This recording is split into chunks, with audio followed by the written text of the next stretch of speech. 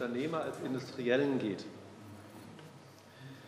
Zunächst begrüße ich Herrn Dr. Storz und möchte ihn kurz vorstellen.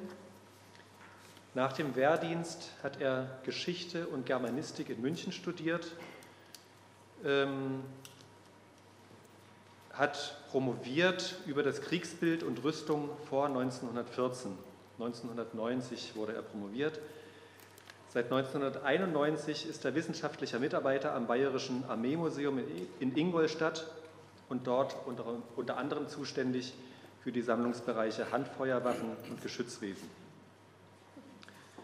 Seine Forschungsschwerpunkte sind die Bewaffnung des Deutschen Reichsheeres von 1871 bis 1918 und der Erste Weltkrieg und hat in diesem Bereich zur Militärgeschichte des 19. und 20. Jahrhunderts auch Veröffentlichungen äh, publiziert. Der Vortrag ist überschrieben Artillerie im ausgehenden 19. Jahrhundert und ich möchte Herrn Dr. Storz jetzt bitten und freue mich auf den Vortrag.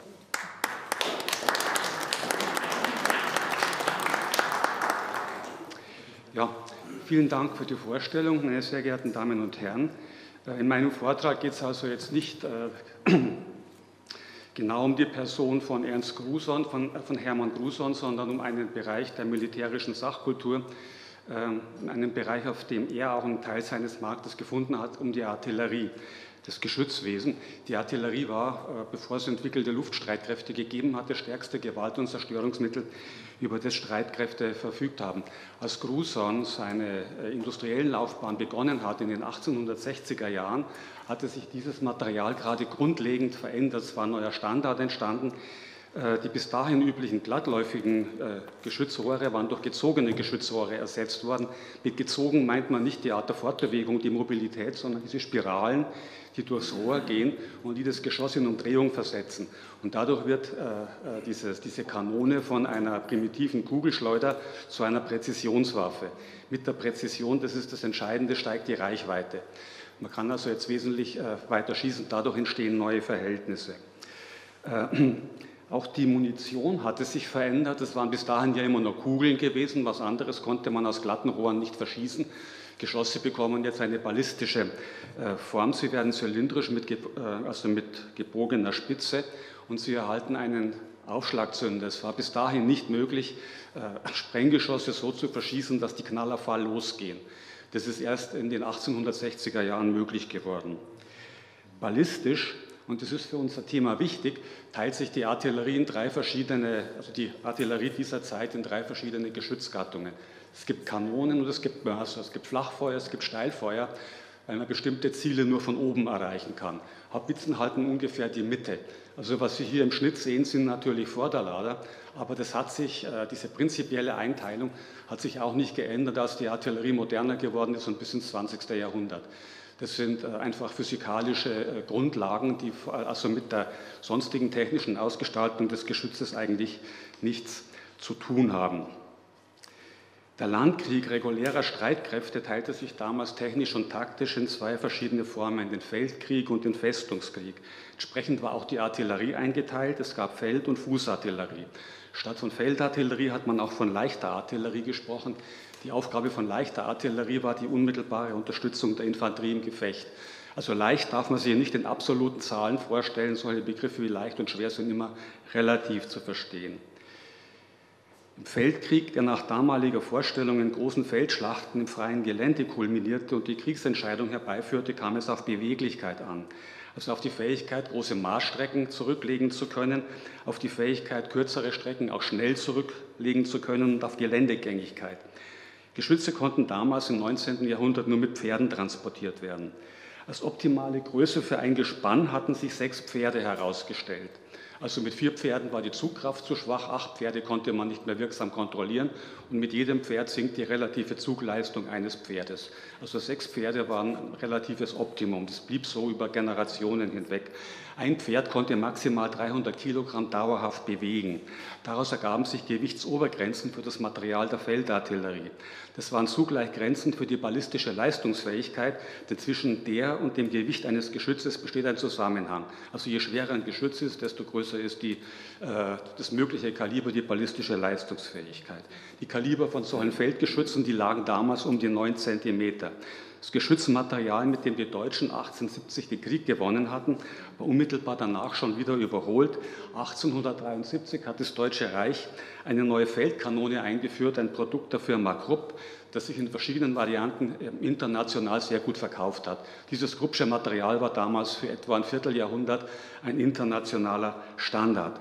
Äh, die Zerstörungskraft solcher Geschütze war aber begrenzt. Gegen Feldbefestigungen, die mit Hacke und Spaten rasch zu schaffen waren, richteten solche Geschütze wenig aus und gegen gemauerte Befestigungsanlagen waren sie nahezu wirkungslos.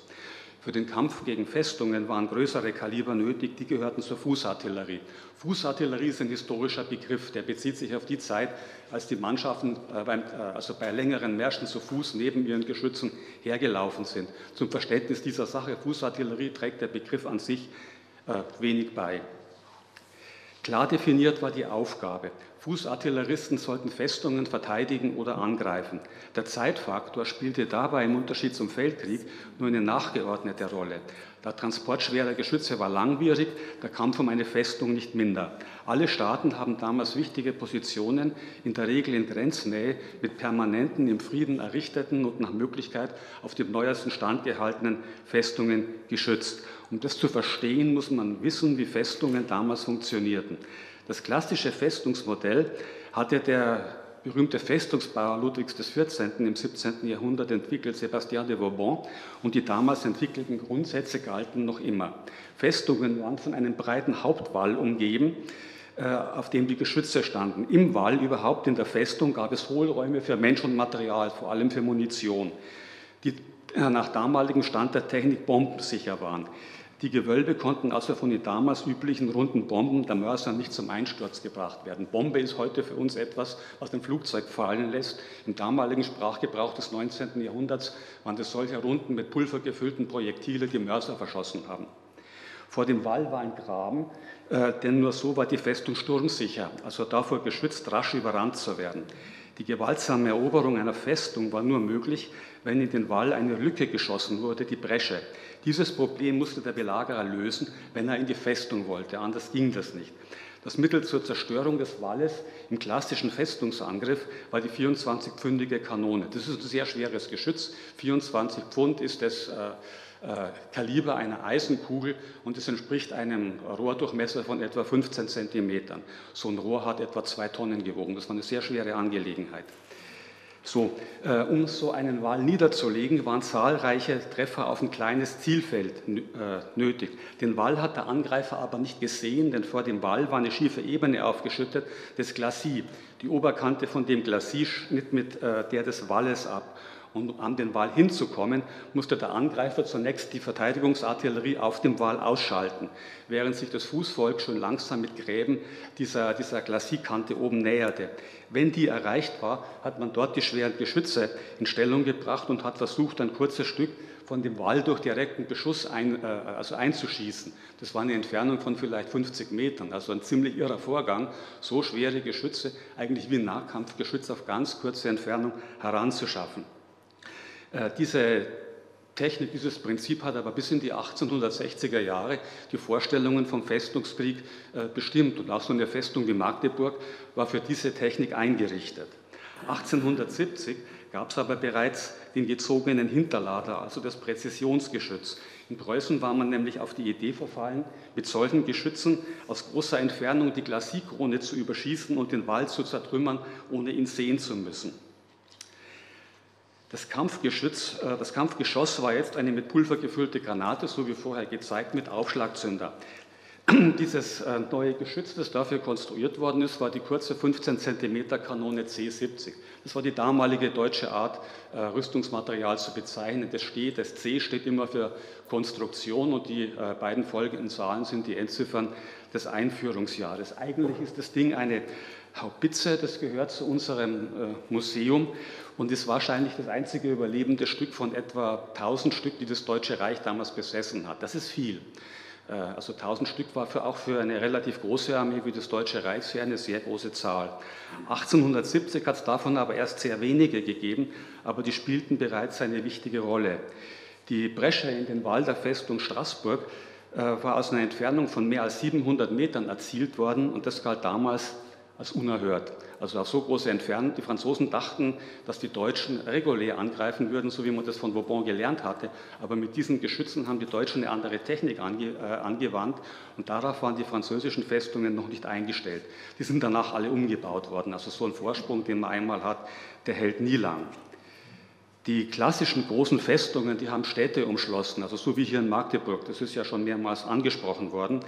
Diese enge Befestigung, die Hauptumwallung, verlor angesichts der gestiegenen Schussweiten aber an Bedeutung. Die Befestigungsanlagen wurden jetzt ins Umland hinausgeschoben mit Radien bis zu acht Kilometern. Einen durchgehenden Wall konnte man auf die Entfernung nicht mehr bauen. An seine Stelle traten jetzt kleine, in sich geschlossene Festungsanlagen, Forts. Die Forts der 1870er Jahre sahen alle mehr oder weniger gleich aus. Dieses didaktische Gemälde zeigt eines der letzten, die in Deutschland noch erhalten sind, das Fort Prinz Karl der seinerzeitigen bayerischen Landesfestung Ingolstadt. Also das Ding gibt es also immer noch, aber es sieht nicht mehr ganz so aus. Man erkennt den Wall, den Graben und das Glacis. Diese Forts waren als Artilleriestützpunkte gedacht, deswegen waren sie auch ziemlich hoch, um einen weiten Überblick zu gewähren. Die Wallkronen ragten mehr als acht Meter über das Bodenniveau. Die Geschütze hatten vor sich eine starke Brustwehr. Untereinander waren sie durch sogenannte Traversen getrennt, die ein bestreichendes Feuer von der Seite verhindern sollten. Das kann man ganz gut erkennen, äh, diese Traversen. Das sind diese, diese, diese, diese, diese Welle, die auf dem, also Erhöhungen, die auf dem Hauptwall angeordnet sind in gewissen Abständen. Sie können auch mit einem Punkt zeigen. Mhm.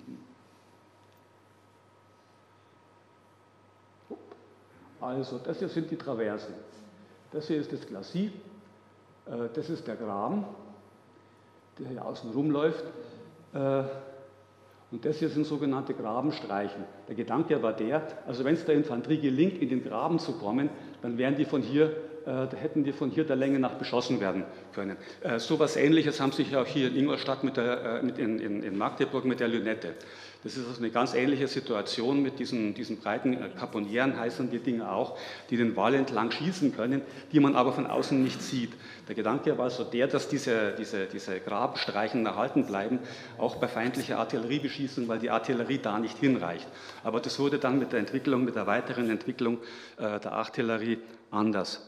Nach einigen Jahren hat es den Militärs gedämmert, dass die schweren Kanonen auf dem Hauptwall nicht nur eine starke Feuerkraft besaßen, das waren solche Geschütze waren das, ähm, sondern auch ein ausgezeichnetes Ziel darstellten, zumal sie ihre Position nicht verändern konnten. Und gegen Steilfeuergeschütze boten nach Wall und Traversen keinen Schutz mehr. Also verteilte man die Geschütze im Gelände. Zwischen und hinter den Forts, äh, da waren sie beweglich aufgestellt und immer und schwerer zu finden. In den 80er Jahren ereilte die Festungsbauer eine zweite Hiobspost. Die Artillerie bekam neue Granaten. Die waren nicht mehr mit Schwarzpulver gefüllt, sondern mit modernen Sprengstoffen, also Produkten der chemischen Industrie. Die bisherige Überdeckung der Schutzräume, gemauerte Gewölbe mit starken Eisen-Erdauflagen wurden ohne weiteres durchschlagen, herkömmliche Forts in kurzer Zeit in Trümmerhaufen verwandelt. Der eigentliche Gewölbebrecher war nun ein 21 cm Mörser, der mit den neuen Granaten Wirkungen erzielte, die mit Schwarzpulver, also mit dem älteren Sprengstoff, selbst mit weit größeren Kalibern unmöglich gewesen waren. In Preußen wurde erstmals 1870 so ein 21 cm Mörser hergestellt, der dann viele Nachkommen haben sollte. Mit diesem Kaliber ging man an die Grenze dessen, was man ohne Eisenbahn auf der Landstraße noch mit Pferden transportieren konnte, und auch das war nur durch Zerlegung in Teillasten möglich. Zusammengesetzt wogen diese Dinger etwa fünf Tonnen und das schwerste Einzelgewicht waren drei Tonnen. Die Zerstörungskraft solcher Geschütze führte dazu, dass viele meinten, die Zeit der Festungen sei überhaupt vorbei. Die setzten sich aber nicht durch. Stattdessen investierte man in die Vertikaldeckung der Schutzräume, denn Stahlbeton wurde jetzt zum wichtigsten Baumaterial anstelle von Stein, Ziegel, Erde. Man wollte aber auf Artilleriewirkung aus den Forts heraus nicht gänzlich verzichten. Damals schlug die Stunde von Hermann Gruson und seiner Panzerfabrikation. Ein im Freien aufgestelltes Geschütz und seine Bedienung waren leicht verletzlich. Ein Geschütz unter einer Panzerkuppel weit weniger. Die bot guten Schutz und war bei ihrer Kleinheit nur schwer zu treffen. Protagonist dieser Entwicklung war in Deutschland Max Schumann, ein preußischer Offizier, der 1861 zur Bundesfestung Mainz versetzt worden war und dort den ersten gepanzerten Geschützstand gebaut hatte. 1866, noch vor dem Krieg, also in der Zeit des Deutschen Bundes.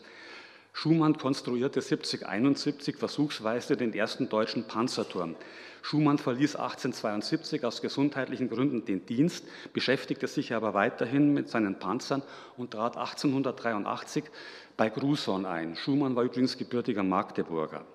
Das neue Produkt war ein drehbarer Panzerturm für Geschütze. Seit den 80er Jahren setzten sich solche Türme im Festungsbau allgemein durch. Häufige Kaliber waren 12 und 15 Zentimeter. Erhältlich waren solche Türme auch versenkbar, nur zum Schuss wurden sie ausgefahren, sonst zeigten sie nur ihre Kuppel. So etwas nannte man bei den Deutschen damals, äh, Moment, Verschwindlerfette, also es konnte verschwinden, das Ding. Die Werke hatten damit wieder eine gefährliche, weil schwierig zu bekämpfende artilleristische Komponente erhalten. Unzerstörbar waren sie nicht, aber der Aufwand, der zur Zerstörung nötig war, der war viel größer als bei der klassischen Artillerieaufstellung. Kuppeln gab es nicht nur für Geschütze, sondern auch als reine Beobachtungsposten, wie hier auf dem schon erwähnten Vorprinz Karl. Also diese Kuppel hat sich äh, erhalten. Nach 1880, 90 hat man bei Festungen im Binnenland nicht mehr viel getan, um die zu modernisieren. Die Mittel waren knapp und man hat sich deshalb da äh, also die Mittel da eingesetzt, wo es wichtig war, also bei Grenzfestungen. Das wäre in Deutschland in erster Linie Metz und Straßburg gewesen. Festungsneubauten äh, waren kleiner als die Forster 1870er Jahre, weil sie von vornherein als Stützpunkte für Panzertürme ausgelegt worden waren und die wurden zunehmend unterirdisch und zeigten kaum noch hohe Zielflächen. Also das hier wäre so ein Panzerfort äh, mit, äh, mit diesen Türmen und das wäre so ein, ein, ein Aufriss. Äh, man sieht also, dass das Ganze sieht völlig anders aus wie diese Forst, die im Grunde genommen wie ein Ausschnitt aus der alten Hauptumwallung ausstehen. Das sind jetzt Werke, die einer, einer ganz neuen Konzeption folgen. Deutschland war bei der Einführung von Panzertürmen eher spät dran. Jedenfalls waren es die kleineren Länder, die vorangegangen sind, etwa Belgien und Rumänien. Äh, Sie, Herr Professor Tullner, haben gestern erwähnt, dass der General Briolmont 1890 einen Vortrag gehalten hat als äh, hier bei, in Gruson äh, die Produkte der Firma den internationalen militärischen Kreisen vorgestellt worden sind. Der Brialmont war eine wichtige Figur. Das war ein belgischer General und der war im ausgehenden 19. Jahrhundert im Festungsbau eine ähnliche Autorität wie Vauban im 17. Äh, Jahrhundert. In Deutschland hat äh, den, ja, diese Ausstattung der Festung mit Panzertürmen der neue Kaiser vorangetrieben, Wilhelm II. Der hat kurz nach seiner Thronbesteigung den Grußhornschen Schießplatz in Buckau besucht, was in der internationalen Militärpublizistik auch vermerkt worden ist und hat sich dort Schießversuche gegen Panzerkuppeln zeigen lassen. Gewissermaßen eine Modeerscheinung waren fahrbare Panzerlafetten mit kleinkalibrigen Kanonen, die entweder auf Schienen oder mit Pferdezug bewegt werden konnten. 1891 wurden sie in Deutschland eingeführt. Diese mobilen Panzer und ihre 5 cm Kanonen kamen von Gruson. Interessant ist diese Episode, weil sie Bestrebungen dokumentiert, die, die Feuerkraft in Festungen beweglich zu machen und damit vielleicht die klassischen teuren permanenten Festungen überhaupt überflüssig zu machen. Diese Kanone wäre jetzt das, was man damals ein Schnellfeuergeschütz genannt hat. Äh, Gruson hat ein ganzes Sortiment von, von Schnellfeuergeschützen im Angebot, aber das ist was anderes als das, was man heute unter dem Begriff verstehen würde. Also heute versteht man unter einem Schnellfeuergeschütz eine vollautomatische Waffe, die Dauerfeuer schießt. Damals äh, waren das, was damals neu war in der Artillerie, waren das Geschütze, die Patronenmunition verschossen haben.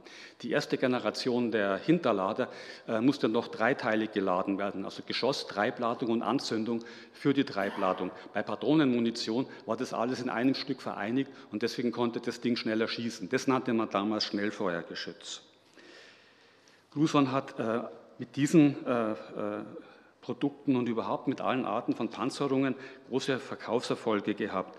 Von 1885 bis 1890 hat die Firma insgesamt 15.600 Tonnen Panzermaterial hergestellt.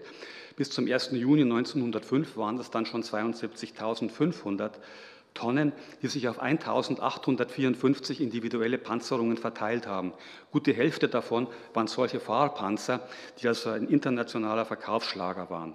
Gruson hat damals äh, viel publiziert Schießversuche waren ein übliches Thema. Das wurde also nicht geheim gehalten. Das ist also in, in, in Buchform äh, äh, veröffentlicht worden. Das konnte jeder lesen.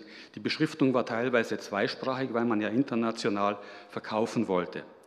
Es geht jetzt hier bei mir allerdings nicht um Artillerie und Gruson, sondern um die Artillerie an sich. Die vielleicht wichtigste einzelne Innovation in der Artilleriegeschichte kann man auf das Jahr 1897 datieren. Damals hat Frankreich ein neues Feldgeschütz eingeführt mit sogenanntem langen Rohrrücklauf. Bis dahin waren Geschützrohre über ihre Schildzapfen starr mit der Lafette verbunden, die beim Schuss zurückrollte. Also man konnte das Rohr in der Höhe drehen, aber das konnte nach hinten nicht ausweichen. Hat beim Rückstoß die ganze Lafette mitgenommen. Das brachte das Rohr aus der Richtung und verlangte jedes Mal, also nach jedem Schuss neues Zielen.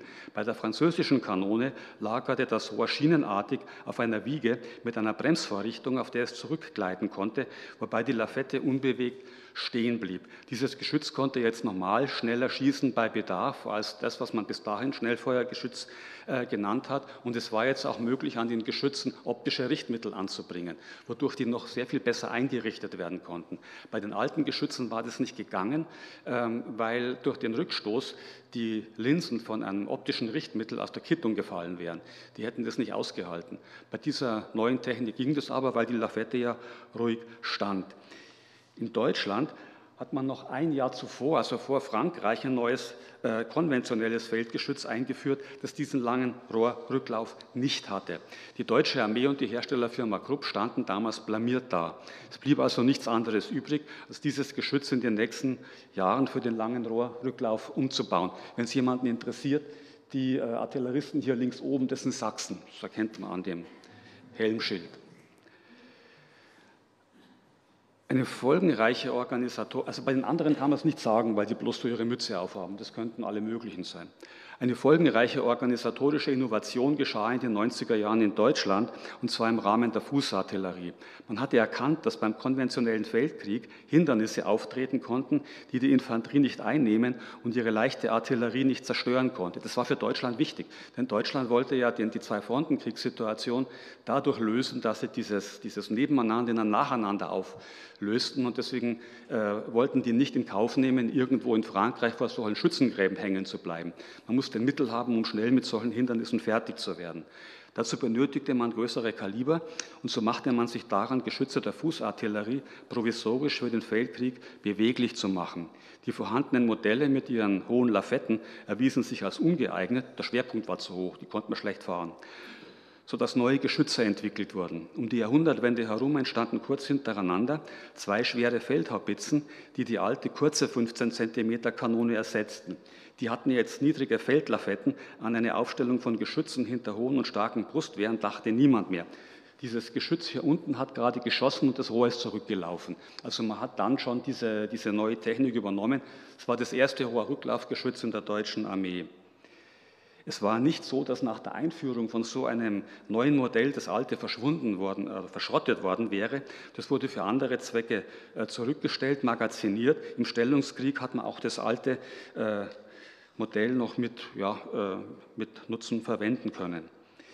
Diese Hautbitzen bildeten eigentlich eine schwere Feldartillerie. Sie durften aber nicht so heißen, weil sie organisatorisch noch zur Fußartillerie gehörten und deswegen die Bezeichnung schwere Artillerie des Feldheeres erhielten. Das war 1914 ein großer äh, Vorsprung, den die äh, deutsche Artillerie hatte, denn eine vergleichbare schwere Artillerie hatte kein anderes äh, Land entwickelt und es war diese, diese Haubitze, die es den Deutschen eigentlich überhaupt nur möglich gemacht hat, im Stellungskrieg äh, während des Ersten Weltkriegs verhältnismäßig lange durchzuhalten. Die Franzosen hatten solche Geschütze erst ab Ende 1916. Für den Kampf gegen permanente Befestigungen blieb der 21 cm Mörser weiterhin das Hauptgeschütz. Mit den plumpen Geräten des 19. Jahrhunderts war man aber nicht, nicht mehr zufrieden. Der lange Rohrrücklaufer gab jetzt neue Möglichkeiten. 1910 wurde ein hochmodernes 21 cm Geschütz dieser Art eingeführt, das offiziell schlicht als Mörser bezeichnet wurde, ohne Kaliberangabe. Das ist militärische Logik. Die hatten einen 21 cm Mörser, das war ein veraltetes Geschütz. Jetzt haben sie einen neuen eingeführt im gleichen Kaliber. Um die beiden zu unterscheiden, haben sie bei dem neuen jetzt einfach die Zahl weggelassen. Also in der Armee hat man das äh, äh, gewusst. Äh, heute kann das, wenn man liest, manchmal zu Verwirrung führen.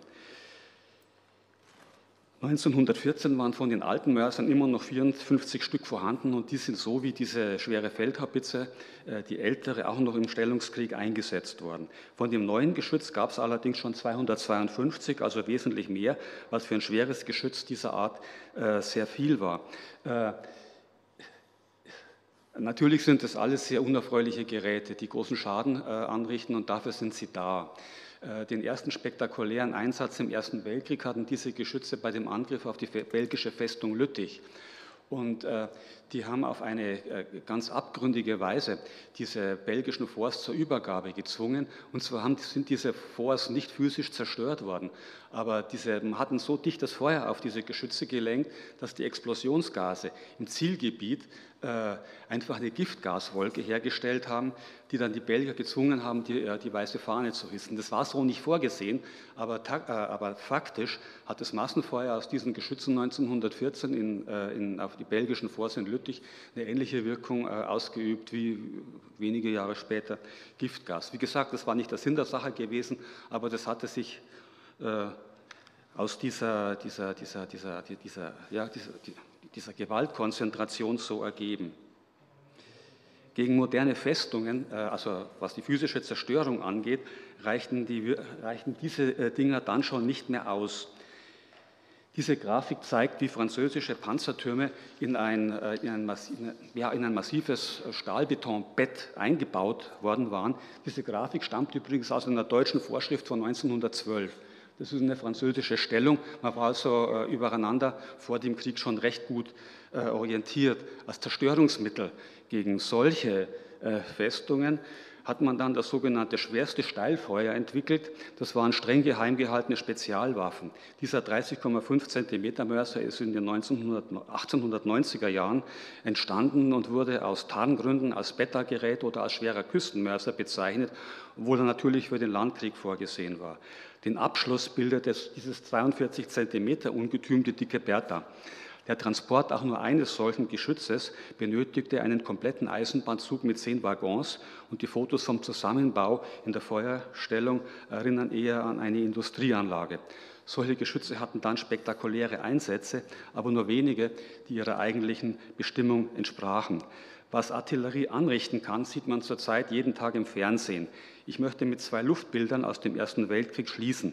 Das erste zeigt das französische Fort in der ersten Phase des Krieges.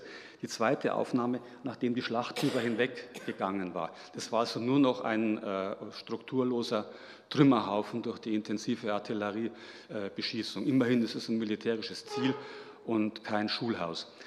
Also ich danke für Ihre Aufmerksamkeit.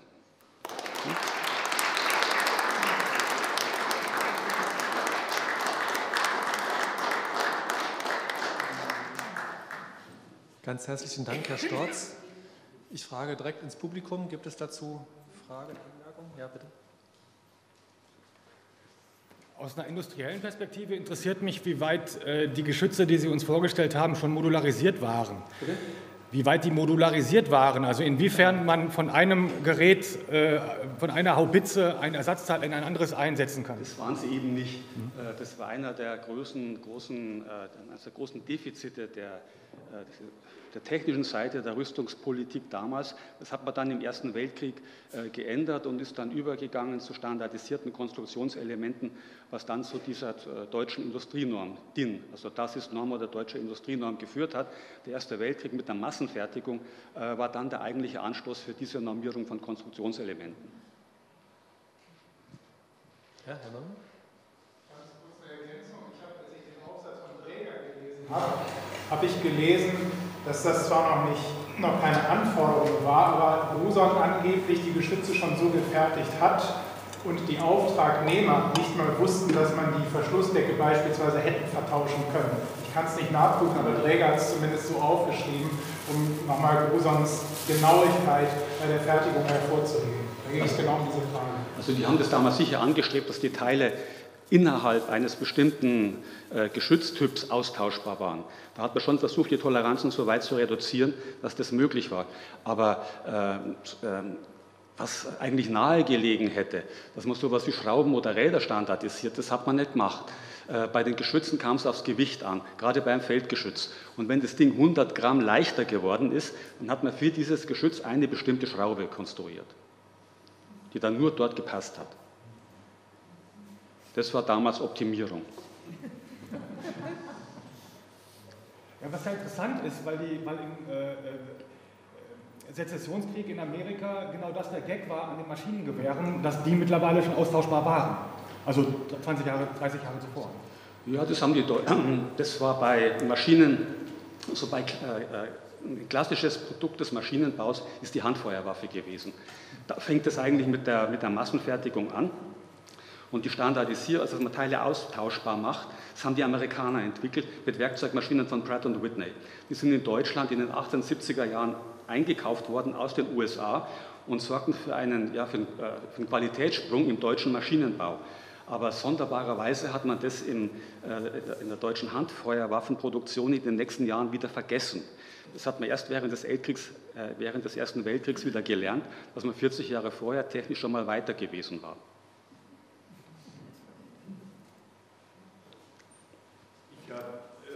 Dass die französische Artillerie früher einen sehr, sehr guten Ruf hatte.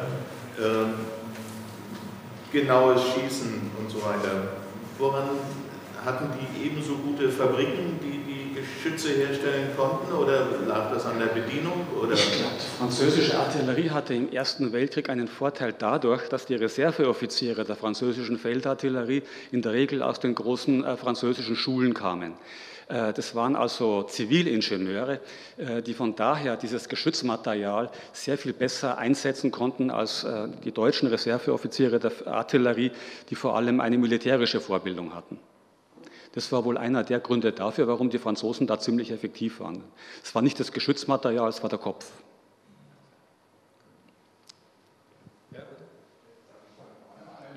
Wieder eine kleine Episode des ehrenamtlichen Museumsführers.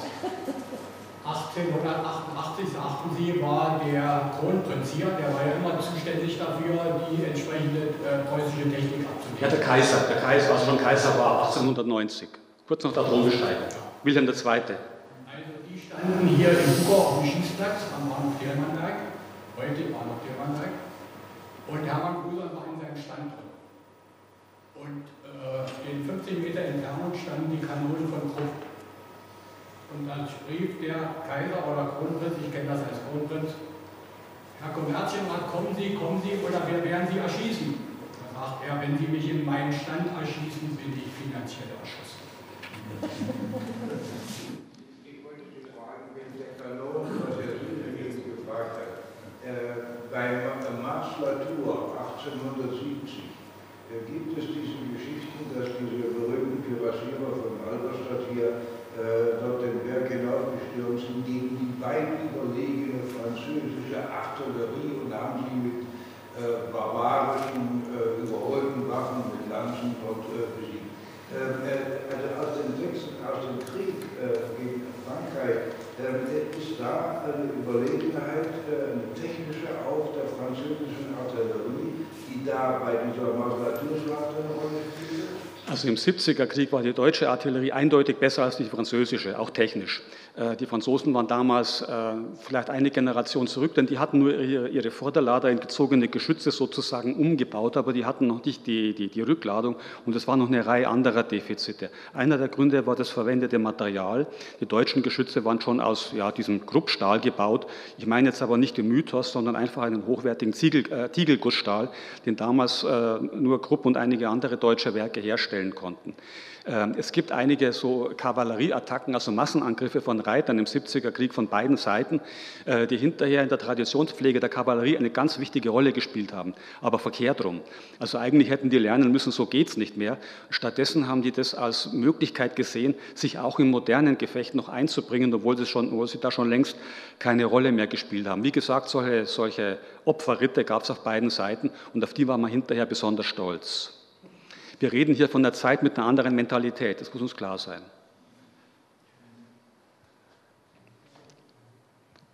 Gibt es weitere Wortmeldungen? Ein Beispiel für Rivalität auf den Chipkapas in Bulgarien hat ja der Krieg stattgefunden zwischen Bulgaren und Russen als Freunde gegen die Türken. Und auf dem Schiffkarpass sind zwei Reihen von Kanonen aufgestellt. Auf dem einen steht dran Krupp Essen und auf dem anderen Magdeburg. Den einen haben die Türken gehabt und das, die andere äh, Front der Kanonen besaßen die Russen und die Bulgaren. Also die Türken und die Russen hatten beide bei Krupp eingekauft. Also das konnte ja auch jeder haben. Danke. Ganz herzlichen Dank.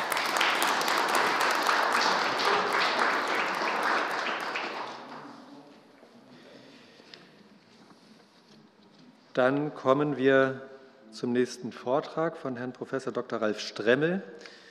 Ich möchte ihn auch wieder zunächst kurz vorstellen.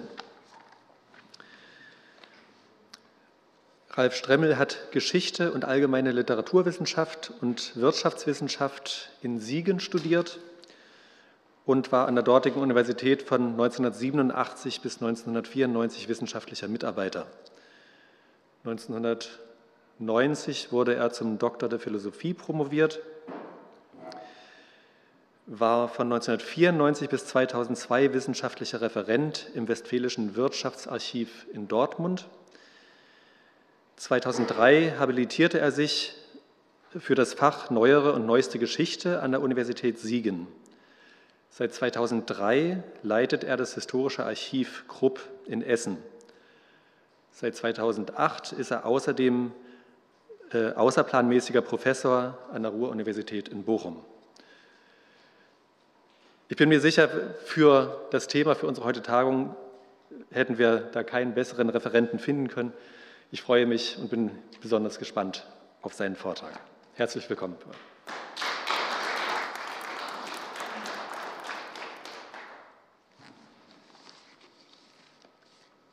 Ja, vielen Dank, Herr Martins, für die freundlichen Worte. Meine sehr geehrten Damen und Herren, mit diesem Vortrag hätte ich mir ohne Zweifel den heiligen Zorn von Alfred Krupp zugezogen, denn einen Vergleich mit Hermann Gruson hat Alfred Krupp sich strikt verbeten, weil das ihn und seine Firma geradezu degradiere. Ich setze mich heute entspannt über dieses Verdikt von Alfred Krupp hinweg, weil ein Vergleich ja Erkenntnisfortschritte bringt. Ein Vergleich kann zu einem präziseren Verständnis dieser beiden Unternehmerpersönlichkeiten beitragen. Meine These ist, sie waren Konkurrenten, konnten sich persönlich nicht leiden, hatten aber als Unternehmer trotz gewisser Unterschiede viel mehr gemein, als ihnen selbst bewusst war. Alfred Krupp und Hermann Gruson verband eine schwierige und zugleich sehr lange Vergangenheit, in der sie deutsche Wirtschaftsgeschichte wesentlich mitgeschrieben haben. Beider Leben erzählt manches über Voraussetzungen und Merkmale der Industrialisierung im 19. Jahrhundert. Woher kamen diese Männer eigentlich? Was verband sie? Was machte ihren Erfolg aus? Wie repräsentativ sind sie für den Typus von Unternehmern in der Industrialisierung? Inwiefern sind sie Industriepioniere? Diesen Fragen will ich in meinem Vortrag nachgehen, ohne endgültige Antworten präsentieren zu können. Und manches wird These, wird Behauptung, wird Idee bleiben, auch deshalb, weil die Forschungssituation, das ist in manchen Vorträgen ja schon angeklungen, ähm, letzten Endes nicht sehr gut ist. Zu Hermann Gruson ist wissenschaftlich wenig und nichts vertiefend gearbeitet worden und auch zu Alfred Krupp fehlt eine moderne wissenschaftliche Biografie, eine umfassende Biografie. Bereits das erste Aufeinandertreffen der beiden Männer stand unter keinem guten Stern. Wir schreiben das Jahr 1849. Gruson arbeitete als angestellter Maschinenmeister in Berlin bei der Berlin-Hamburger Eisenbahngesellschaft und diese bestellte zwei Gussstahlachsen bei Krupp. Mindestens eine davon ließ Gruson dann bei einem Konkurrenten Krupps, dem Karlswerk in Eberswalde, testen. Diese Tests waren für die Essener Firma wenig schmeichelhaft. Das Karlswerk machte die Resultate öffentlich. Krupp reagierte mit einer Gegendarstellung, in der auch Gruson angegriffen wurde und schlug eine umfangreichere Prüfung vor einer Jury aus Experten vor. Diese fand dann schließlich Februar, April 1850 in Berlin statt und zu diesen Experten gehörte etwas kurios, weil er eine Doppelrolle hatte, auch Hermann Gruson. Was stellte sich heraus? Krupps Achsen waren tatsächlich qualitativ nicht besser als andere Fabrikate, eher schlechter. Und Gruson hielt an seiner Skepsis im Hinblick auf das Kruppsche Fabrikat fest. Das vergaß ihm Krupp nie, obwohl er zwei Jahre später erneut mit Gruson aufeinander traf und anschließend, Sie sehen hier den Brief nach Hause, schrieb, gestern mit Gruson Freundschaft gemacht. Doch diese angebliche Freundschaft hielt nicht lange. Tatsächlich war Krupp äußerst nachtragend und ließ es eigentlich zeitlebens an Anerkennung für die Lebensleistung von Hermann Gruson fehlen. Umso mehr, je stärker das Gruson-Werk eine ernstzunehmende Konkurrenz für Krupp wurde, gerade im Rüstungsgeschäft. Krupps Sortisen über Gruson waren Legion. Grusons Firma meinte der Essener Industrielle einmal selbstgerecht, könne nur, ich zitiere, Schund ohne Dauer liefern. Krupp sah also in Gruson einen Widerpart, der nur dank Täuschung, dank einflussreicher Gönner und trickreicher Kommunikation im In- und Ausland Erfolge erziele, aus seiner Sicht scheinbare Erfolge. Er, Gruson, könne, ich zitiere wieder Alfred Krupp, intrigieren, sich bereichern, stehlen. Tatsächlich jedoch kam Krupp mit seinen eigenen Konstruktionen gegen Grusons Panzertürme aus Hartguss nicht an. Man wüsste im Gegenzug übrigens gern, was denn eigentlich Hermann Gruson über Alfred Krupp wirklich dachte. Doch dazu fehlen leider Quellen, dazu sind bislang keine Äußerungen bekannt. Ähm, wenn man sich sein Kondolenztelegramm nach dem Tod von Alfred Krupp 1887 anschaut, dann fällt das eher nüchtern aus und wirkt pflichtschuldig. Zutreffend ist also zu lesen, Krupp sei nie Grusons Freund gewesen, die beiden hätten gar nicht zusammengepasst. In der Tat, von seinem Charakter her war Gruson ein Familienmensch, charmant, frohsinnig, heute würde man ihn wahrscheinlich kommunikativ nennen. Er ist in der Literatur auch mal als Künstlernatur bezeichnet worden. Er besaß wir haben das mehrfach gehört in den Vorträgen, weit gespannte Interessen über das Unternehmerische hinaus, begeisterte sich eben schon als junger Mann für die Botanik, baute die Gewächshäuser, widmete sich mit wissenschaftlichem Anspruch der Erforschung und Zucht von Kakteen. Eine Gattung, eine Art wurden nach ihm benannt. Interesse für Astronomie gipfelte in einem Buch über Lichtphänomene. Krupp dagegen tendierte zum Misanthropen. Er war zutiefst misstrauisch, seine Ehe verlief unglücklich, dem Sohn traute er wenig zu. Ja, fast bis zur Egozentrik war er auf sich selbst bezogen und vor allem immer auf die Firma konzentriert. Darum, um diese Firma kreiste letztlich sein ganzes Denken. Das brachte ihm Erfüllung und Befriedigung. Ruson dagegen hatte ja sozusagen auch ein Leben jenseits der Fabrik. Das mag eine kleine Geschichte illustrieren, auch wenn sie vielleicht nur Anekdote ist. Sie erzählt doch einiges an historischer Wahrheit. Also, wie geht die Geschichte? Hermann Gruson schickt einen Angestellten nach Italien in den Kriegshafen La Spezia, wo es ähm, ein Projekt der Firma zu beaufsichtigen gilt. Der Angestellte kehrt zurück nach Magdeburg, spricht mit Hermann Gruson und Hermann Gruson fragt, wie ihm denn Rom gefallen habe. Äh, Rom, antwortet der Mann, er habe überhaupt keine Zeit gehabt, sich Rom anzuschauen. Darüber ist Hermann Gruson empört, bricht das Gespräch ab. Alfred Krupp hätte wohl ganz anders, hätte entschieden anders reagiert und den Mitarbeiter hoch gelobt, weil der sich ja augenscheinlich ausschließlich auf das Geschäft konzentriert hatte und keine Idee hatte, sich von den Kunst- und Kulturschätzen Roms in Anspruch nehmen zu lassen. Wenn man so will, Gruson war ein, ja man kann sagen, vollständigerer Mensch, ein ganzheitlicher Mensch. Ähm, auch sowas mag das zeigen. Das ist vielleicht die erste Medaille, die Gruson bekommen hat, eine Medaille als Lebensretter 1846. Ähm, er hat jemand vor dem Ertrinken bewahrt und der preußische König erkennt das an mit dieser Medaille. Dass Gruson ein vollständigerer Mensch war, das mag unter anderem auf seine fundiertere Bildung und fundiertere Ausbildung zurückzuführen sein. Mit Abiturreife, dem einjährig freiwilligen Militärdienst, dem Besuch natur- und technikwissenschaftlicher Lehrveranstaltungen an der Berliner Universität und der praktischen Qualifikation in mehreren Industriebetrieben.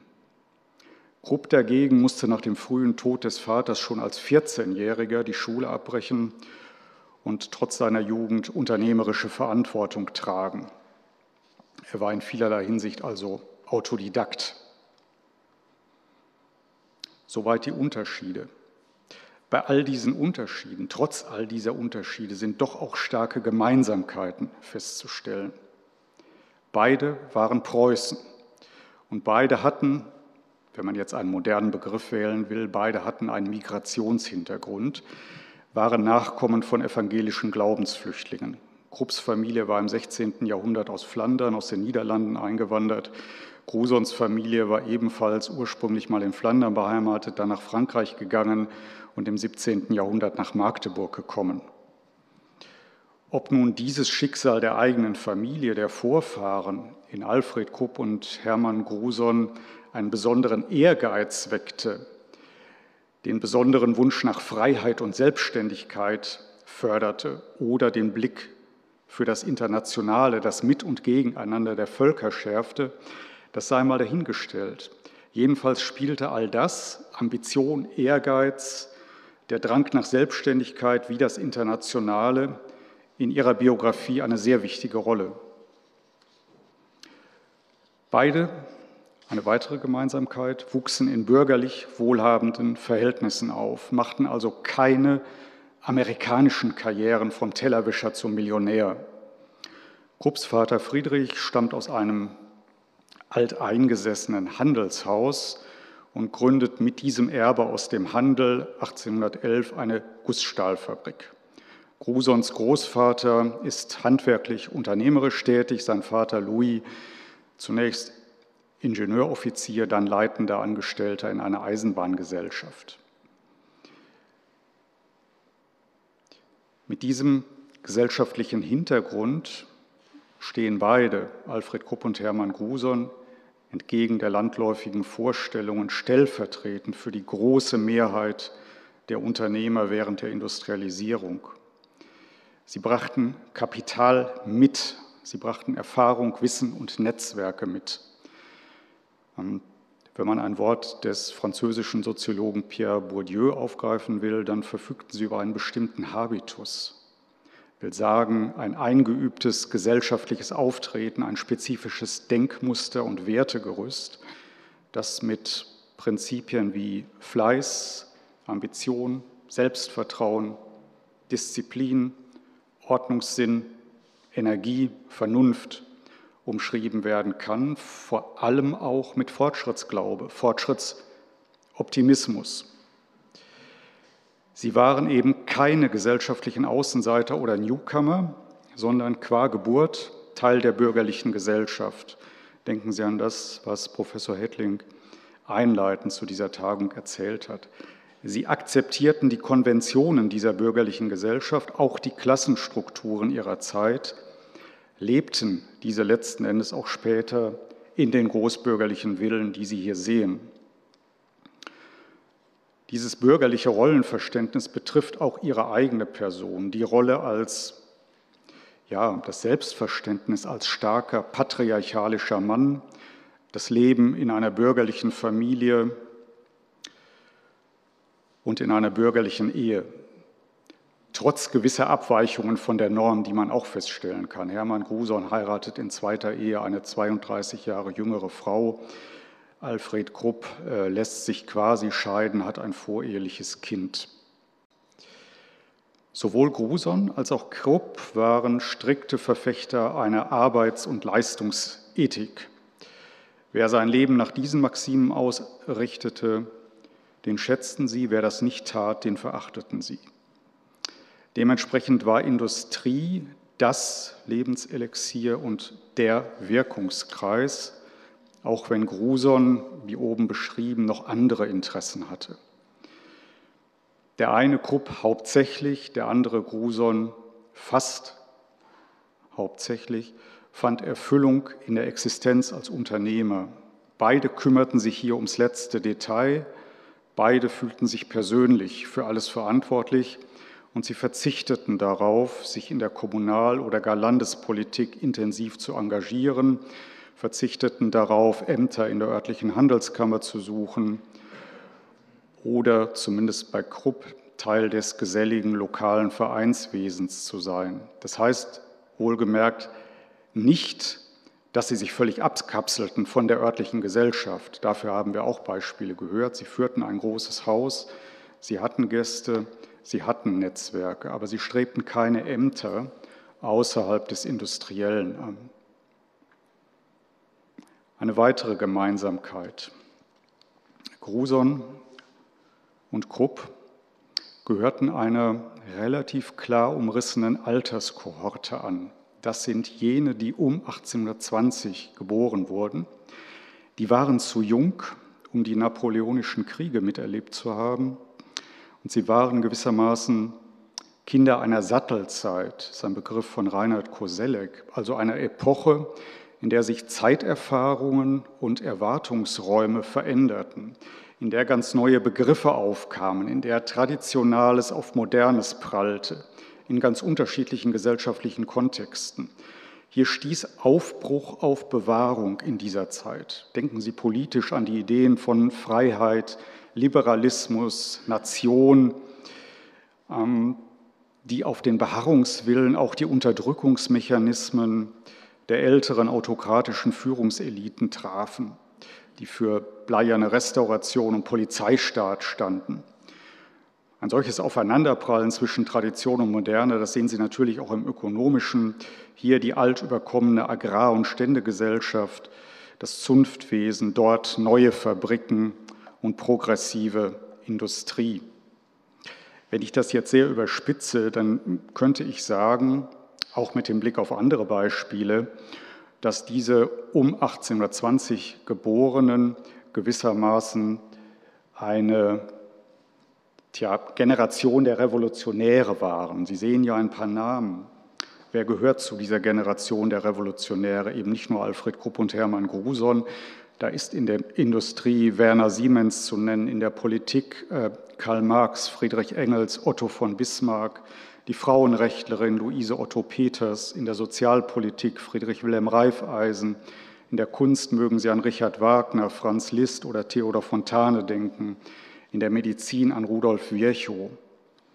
Das verstehe ich unter Generation der Revolutionäre.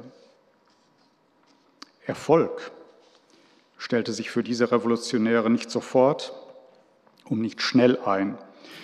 Krupp benötigte zehn Jahre, um die hochverschuldete, damals noch winzige Firma des Vaters in die Gewinnzone zu führen und weitere 15 Jahre, bis sie dann rasant zu einer der größten Firmen Europas wuchs.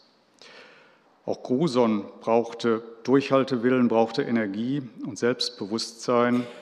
Fehler und Rückschläge mussten verkraftet werden. Beide Industrielle mussten auch imstande sein, Sackgassen zu erkennen und diese Sackgassen wieder zu verlassen. Das heißt also Erfolgloses aufzugeben. Im Fall von, von Gruson war das beispielsweise der Bau von Schiffen um dann Neues zu wagen. Sie waren beide, glaube ich, im Sinne des ähm, Nationalökonomen Josef Schumpeter schöpferische Zerstörer. Das ist eigentlich ein Wesenszug vieler erfolgreicher Unternehmer, die schöpferische Zerstörung, die Rastlosigkeit. Was aber Krupp und Gruson aus der Masse der Unternehmer auch aus der Masse schöpferischer Zerstörer heraushebt, ist, dass sie recht eigentlich Multiunternehmer waren. Das heißt, dass sie Talente auf ganz unterschiedlichen Feldern hatten, die sie kombinierten. Sie ragten weit über den reinen Techniker oder Konstrukteur hinaus. Sie erfanden innovative Werkstoffe und Produkte. Bei Krupp war das beispielsweise die Gussstahlkanone, es war aber auch die Besteckwalze, es war vor allem der nahtlose Eisenbahnradreifen, bei Gruson klar war es in Sonderheit der Hartguss mit all seinen Anwendungsgebieten im zivilen und im militärischen Bereich. Sie entwickelten diese innovativen Produkte zur Marktreife, sie organisierten, das kam hinzu, einen profitablen Absatz, und zwar schon in internationalen Aktionsräumen, also gewissermaßen Globalisierung vor der Globalisierung. Gleichzeitig schafften sie es immer, Kapital für ihre Ideen zu mobilisieren. Sie sicherten also die Finanzierung und gewannen Vertrauen. Daneben ein weiteres, vielleicht eines der wichtigsten Dinge. Sie waren Meister der Kommunikation. Sie waren gewissermaßen ihre eigenen erfolgreichen Verkäufer. Krupp, ebenso wie Gruson, beteiligte sich früh an Weltausstellungen, man erwarb da auch Medaillen, man setzte auf ganz moderne Medien der Kommunikation und das war damals die Fotografie.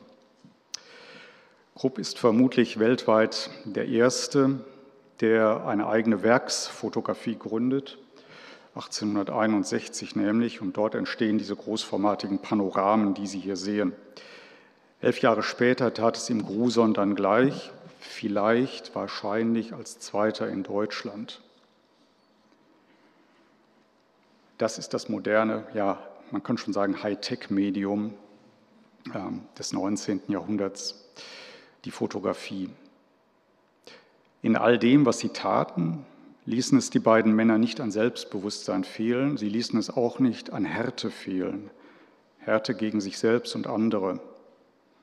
Mehr noch, Sie verfügten über Charisma, eine im Sinne Max Webers außeralltägliche Persönlichkeit, die andere in den Band zieht, in den Band schlägt.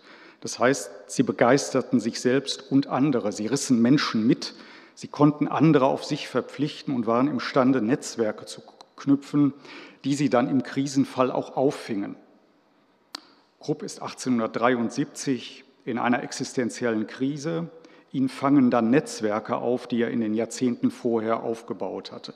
Netzwerke in die Politik, Netzwerke in die Finanzwelt.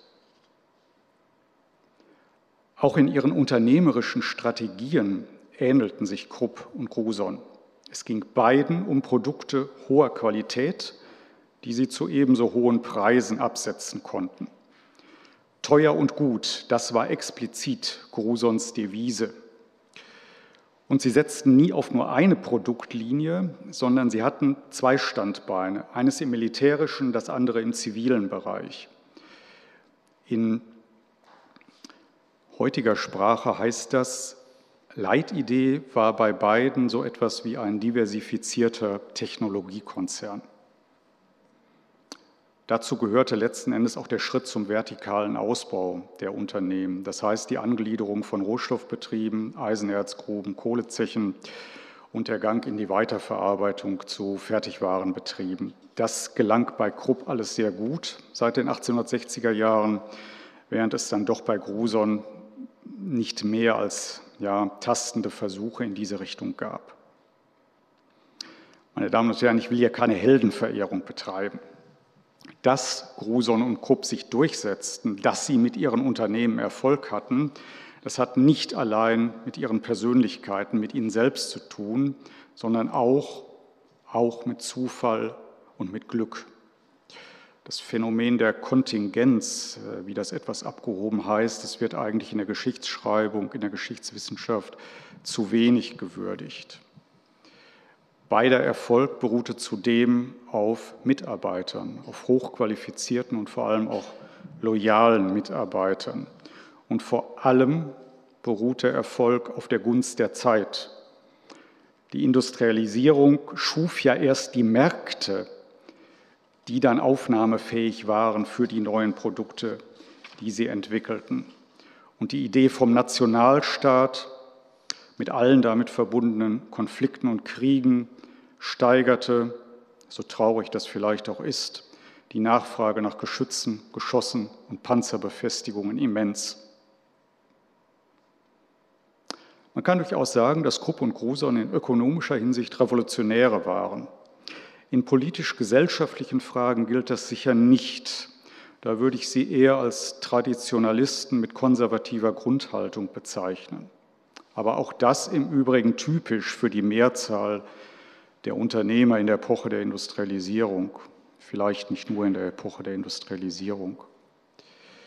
Das heißt, ihr Denken ist eigentlich auf den Schutz und die Bewahrung der Monarchie und des autoritären Staates ausgerichtet.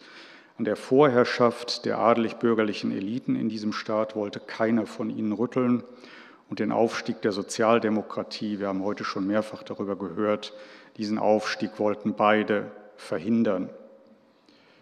Der Staat honorierte diese loyale Haltung mit hohen Titeln und Orden. Sowohl Alfred Krupp wie Hermann Gruson trugen den Titel eines geheimen Kommerzienrates und freuten sich, Sie sehen das hier, über Besuch aus dem Herrscherhaus. Dass beide von gesellschaftlichem, von sozialem Verantwortungsgefühl geprägt waren und einen Blick für die soziale Frage hatten, das führte in beiden Fällen zu Gruson hat Herr Neumann schon etwas erzählt. Das führte in beiden Fällen zu einer sehr ausgedehnten Sozialpolitik mit mindestens Unterstützungskassen. Im Fall Krupps auch mit ähm, Wohnungsbau und zahlreichen anderen Einrichtungen. Solche Initiativen, auch das muss man klar sagen, waren allerdings nicht, vielleicht nicht einmal in erster Linie humanitär oder altruistisch motiviert, sondern sie gehorchten auch einem sehr rationalen betriebswirtschaftlichen Kalkül, sprich qualifizierte Facharbeiter an den Betrieb zu binden, indem man ihnen mehr bietet als den üblichen Lohn. Die Konzepte eines Krupp oder eines Gruson zur Lösung der sozialen Frage waren immer patriarchalisch. Sie wollten Herr im Hause, wie das damals hieß, bleiben. Aber als väterliche Chefs fühlten sie sich eben auch zutiefst verantwortlich für ihre Mitarbeiter, verlangten im Gegenzug indes Loyalität und politische Enthaltsamkeit. Mit diesem Konzept hatten sie beide zu Lebzeiten, bis auf die eine Ausnahme 1859 bei Gruson, Erfolg. Sie konnten eben Streiks, Revolution und Umsturz verhindern. Das heißt, äh, ihr Ziel, so etwas wie ein Gemeinschaftsgefühl, Solidarität zwischen unten und oben, vom Tagelöhner über den Direktor bis hin zum Firmeninhaber zu schaffen, das erreichten sie mindestens teilweise. Man müsste in diesen Fragen äh, viel mehr, als das bisher in der Forschung geschehen war, vergleichend vorgehen. Was heißt gesellschaftliches Verantwortungsgefühl? Welche Summen sind eigentlich investiert worden in Relation zu den Gewinnen der Unternehmen? Ähm, war das viel oder war das wenig im Vergleich mit anderen Unternehmen? Dazu gibt es bislang noch keine Arbeiten, das ist ein Forschungsdesiderat. Ähm, ich will vielleicht noch ein paar Worte verlieren über Unterschiede im Erfolg. Am Ende,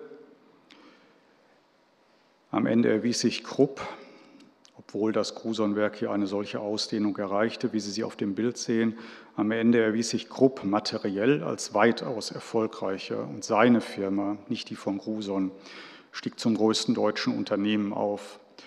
Als Alfred Krupp 1887 starb, da beschäftigte er gut 20.000 Personen, etwa 13 Mal so viel wie Gruson.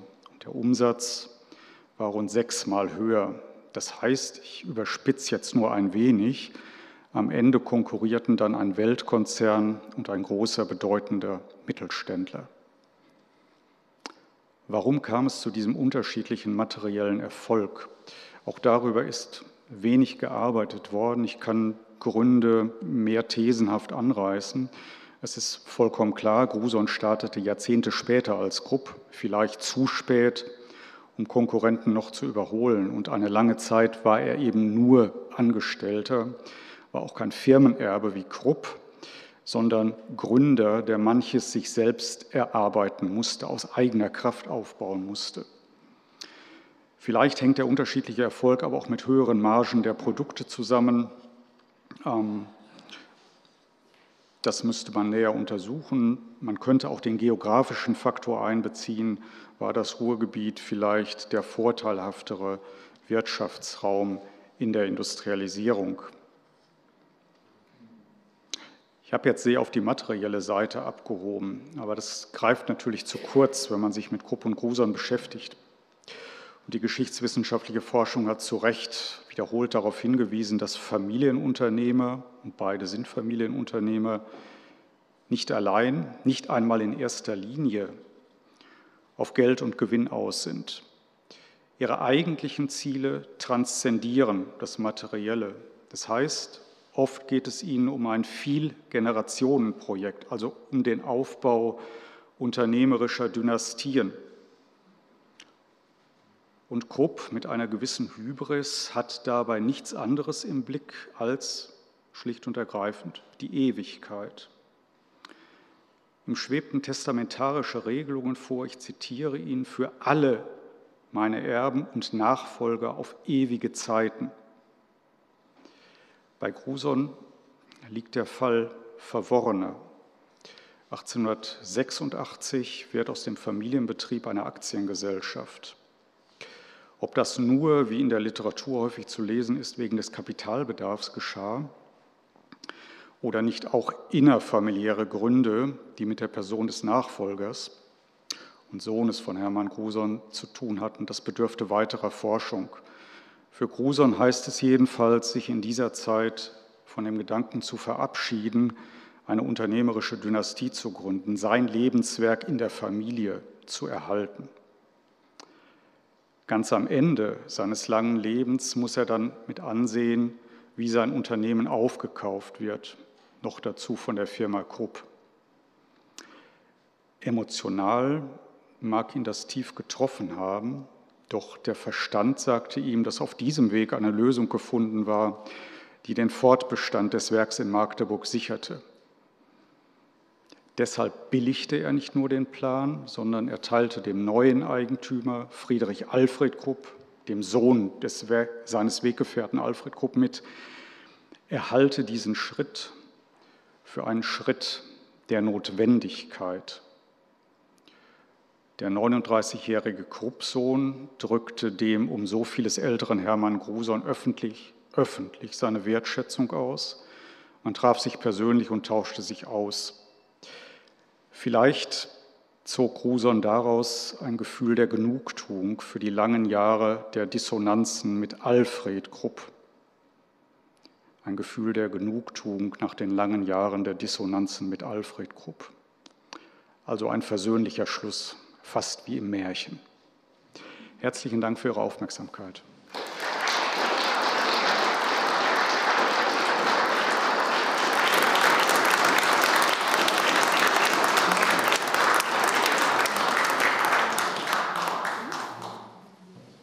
herzlichen Dank, Herr Professor Stremmel. Ich gebe wieder die Frage in die Runde, wer sich zu Wort melden möchte, Fragen stellen möchte, Anmerkungen.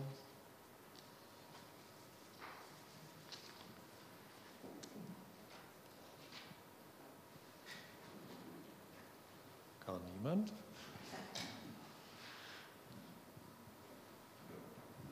Für mich war höchst interessant eine Abbildung, die den Lageplan der Gewächshäuser an seiner Villa zeigt, denn sowas haben wir hier in unserem Archiv nicht. Das werde ich dann gleich nochmal aufgreifen. Da ist eine Wortmeldung, bitte.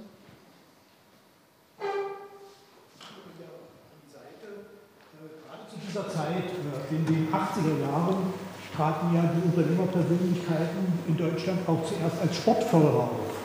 Haben Sie dort etwas gefunden, das äh, Krupp oder eventuell auch Krusern, Rudervereine oder Sportvereine finanziell unterstützt haben? Ähm, in dieser Zeit nicht. Bei Gruson wüsste ich nicht, dass es zu Sportförderungen gekommen ist, aber da werden die Magdeburger Experten mich wahrscheinlich eines Besseren belehren. Im Fall von Krupp war es die nächste Generation, also unter Friedrich Alfred Krupp wird recht intensiv ähm, Sportförderung getrieben. Friedrich Alfred Krupp ist dann einer der Mitgründer des Essener Turn- und Fechtclubs ETUF. Äh, den es bis heute gibt. Das ist aber eine Entwicklung der 1890er und frühen 1900er Jahre. Ich habe nur eine, eine Anmerkung. Das Krupp Grusonwerk hat einen Betriebsturnverein gegründet. Das geschah aber nach dem Tod von Gruson.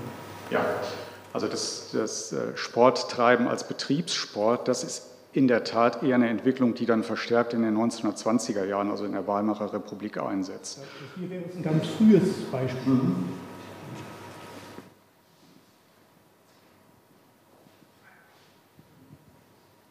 Meine Damen und Herren, wir befinden uns auf der Zielgerade.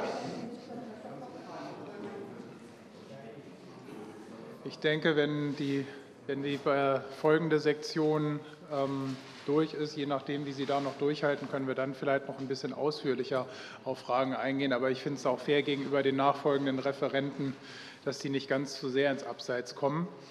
Es ist mir jetzt eine Freude, wieder hier zu stehen und meinerseits wieder einen Referenten ankündigen zu dürfen, nämlich Dr. Martins, der mit mir zusammen und den vielen, vielen Helfern, die ich schon erwähnt habe, eben auch diese Tagung organisiert hat. Ähm, ich will Ihnen auch kurz hier gebührend vorstellen. Herr Martins ist äh, geboren und aufgewachsen in Neubrandenburg, ähm, hat von 1993 bis 2000 Biologie in Rostock, Uppsala und Jena studiert. Von 2000 bis 2001 war er Projektmitarbeiter mit Forschungsaufenthalt in Benin, Westafrika, noch so eine spannende Station, an der ich noch nie gewesen bin. Die Promotion erfolgte 2006 in systemischer Botanik an der Universität Jena. Von 2007 bis 2009 war er Kustos am Hebrarium, Botanischer Garten und Botanisches Museum in Berlin-Dahlem und seit 2010 ist er wissenschaftlicher Leiter der Gruson Gewächshäuser Magdeburg. Dr. Martins, Sie haben die Brücke. Herzlichen Dank. Ja, mich interessiert ein ganz anderer Aspekt von Hermann Gruson, seine Pflanzensammlung, mit der ich ja nur tagtäglich arbeite. Ich möchte erstmal kurz darstellen, was wir überhaupt wissen über die Sammlungen zu Lebzeiten Grusons. Kurz erläutern, woher seine Leidenschaft kommt oder kommen könnte für die Pflanzen. Ähm, dann, wonach er überhaupt festgelegt hat oder ausgewählt hat, welche Pflanzen er sich nur eigentlich als Sammlung anlegen möchte seine Sammlung ein bisschen in den Kontext stellen, wie sie von anderen Sammlern oder von seiner Umgebung von der, ja, wahrgenommen wurde. Wo bekommt man im 19. Jahrhundert überhaupt solche exotischen Pflanzen her? Das ist ein spannendes Thema. Und kleiner Ausblick, Rückblick, äh, wie es nach Grusons Tod mit der Sammlung weitergegangen ist und was wir davon heute noch haben. Jetzt nehme ich mal den und hoffe, dass das jetzt geht. Jawohl.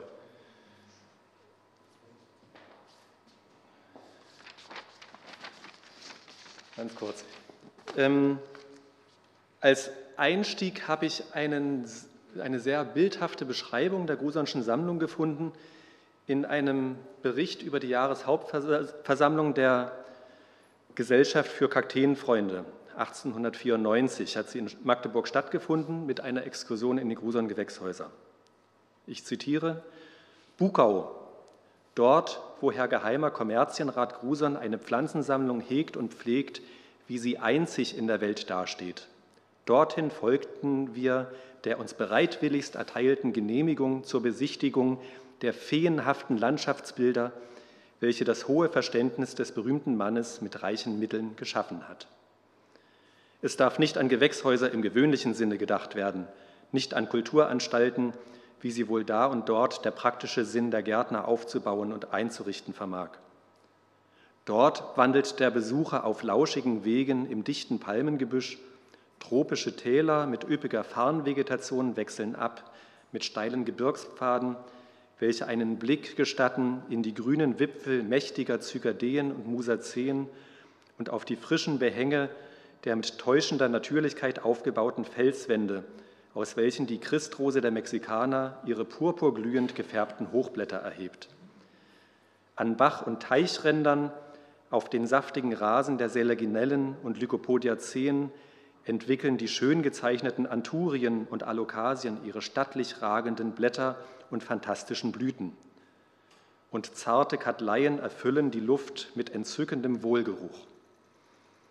Es ist auch dem Kakteenfreunde unmöglich, an diesen herrlichen Bildern achtlos vorbeizugehen. Dürfen die, Kost ja, dürfen die kostbaren Krotongebüsche, welche Herr Geheimer Kommerzienrat Grusern mit ganz besonderem Glück durch Kreuzungen erzielt hat, unerwähnt bleiben? Von dieser Stelle aus erfordert es die Pflicht, dem verehrten Herrn Dank abzustatten für die Bereitwilligkeit, welche uns zum wiederholten Male einen Besuch dieser großartigsten Pflanzensammlung gestattete. Ist doch der Herr Besitzer ebenfalls ein begeisterter Kakteenfreund und seine Kakteensammlung die berühmteste der Gegenwart. Soweit die Beschreibung. Man stellt sich förmlich die Sachen vor. Dieses Foto im Archiv der Gewächshäuser, hier weiß ich eben nicht, ob das noch zu Lebzeiten Grusons hier auf seinem Gelände gemacht wurde oder schon in den städtischen Gewächshäusern am heutigen Standort. Das lässt sich nicht eindeutig identifizieren.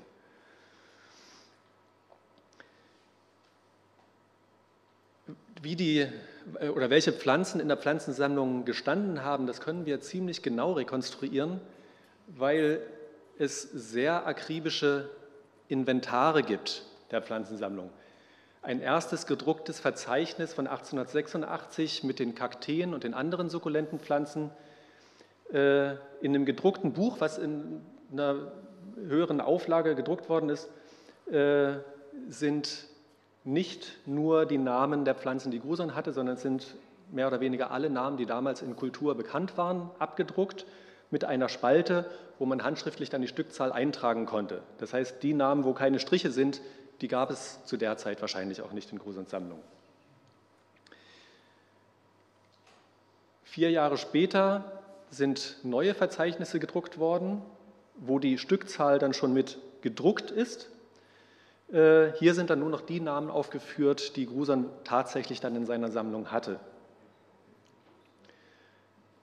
Nicht nur Kakteen und Sukkulenten, sondern jetzt gab es auch ein Verzeichnis mit den Orchideen und den anderen Warm- und Kalthauspflanzen.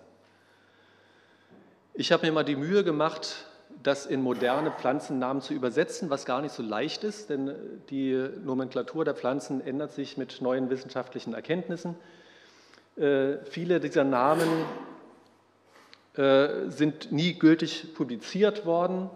Da steht dann hier zum Beispiel Cereus alacriputanus hort, das heißt Hortorum, also das ist ein Name, der in Gärten verwendet wurde, aber nicht wissenschaftlich publiziert worden ist. Und bei solchen Sachen ist es heutzutage oft unmöglich herauszufinden, welche Pflanzen sich eigentlich dahinter verbergen. Ich habe das mal an dem Beispiel Cereus versucht darzustellen. Cereus ist eine Gattung der Kakteen. Zu Grosons Zeiten wurden alle Kakteen, die säulenförmig oder schlangenförmig wachsen, als Cereus bezeichnet. Ähm,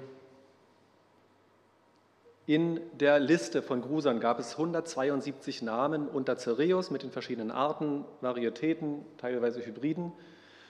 Drei davon hießen nur Cereus Speck, das heißt unbestimmte Art. Da wusste also Gruson selbst nicht, was es ist.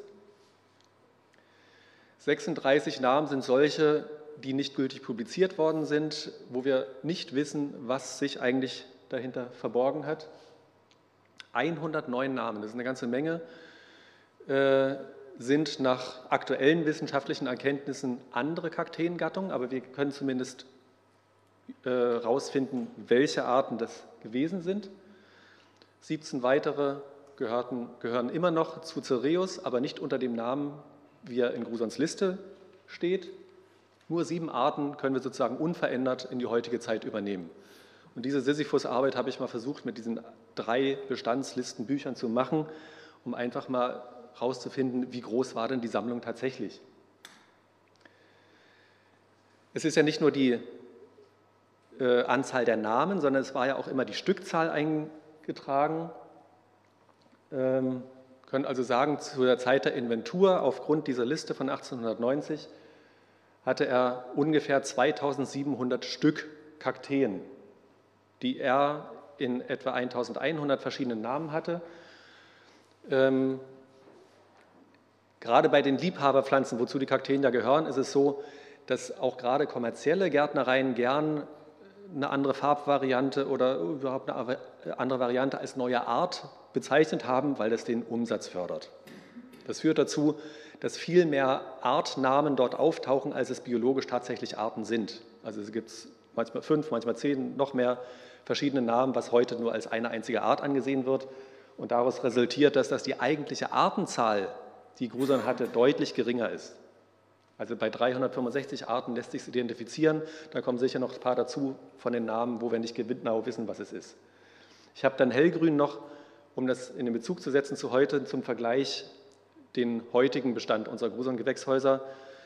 Äh, wir haben also geringfügig oder ja, in ungefähr so viel Kakteen wie Gruson damals auch hatte. Also wenn Sie mal in die Gewächshäuser gehen und diese, diese große Vielfalt an Kakteen sehen, ungefähr so von der Vielfalt dürfte es bei Gruson auch ausgesehen haben. Bei den anderen Sukkulenten, wo zum Beispiel Aloe dazugehört oder sukkulente Wolfsmilcharten, verschiedene andere, war auch ganz beachtlich, was Gruson hatte, aber doch deutlich weniger als das, was wir heute zeigen können.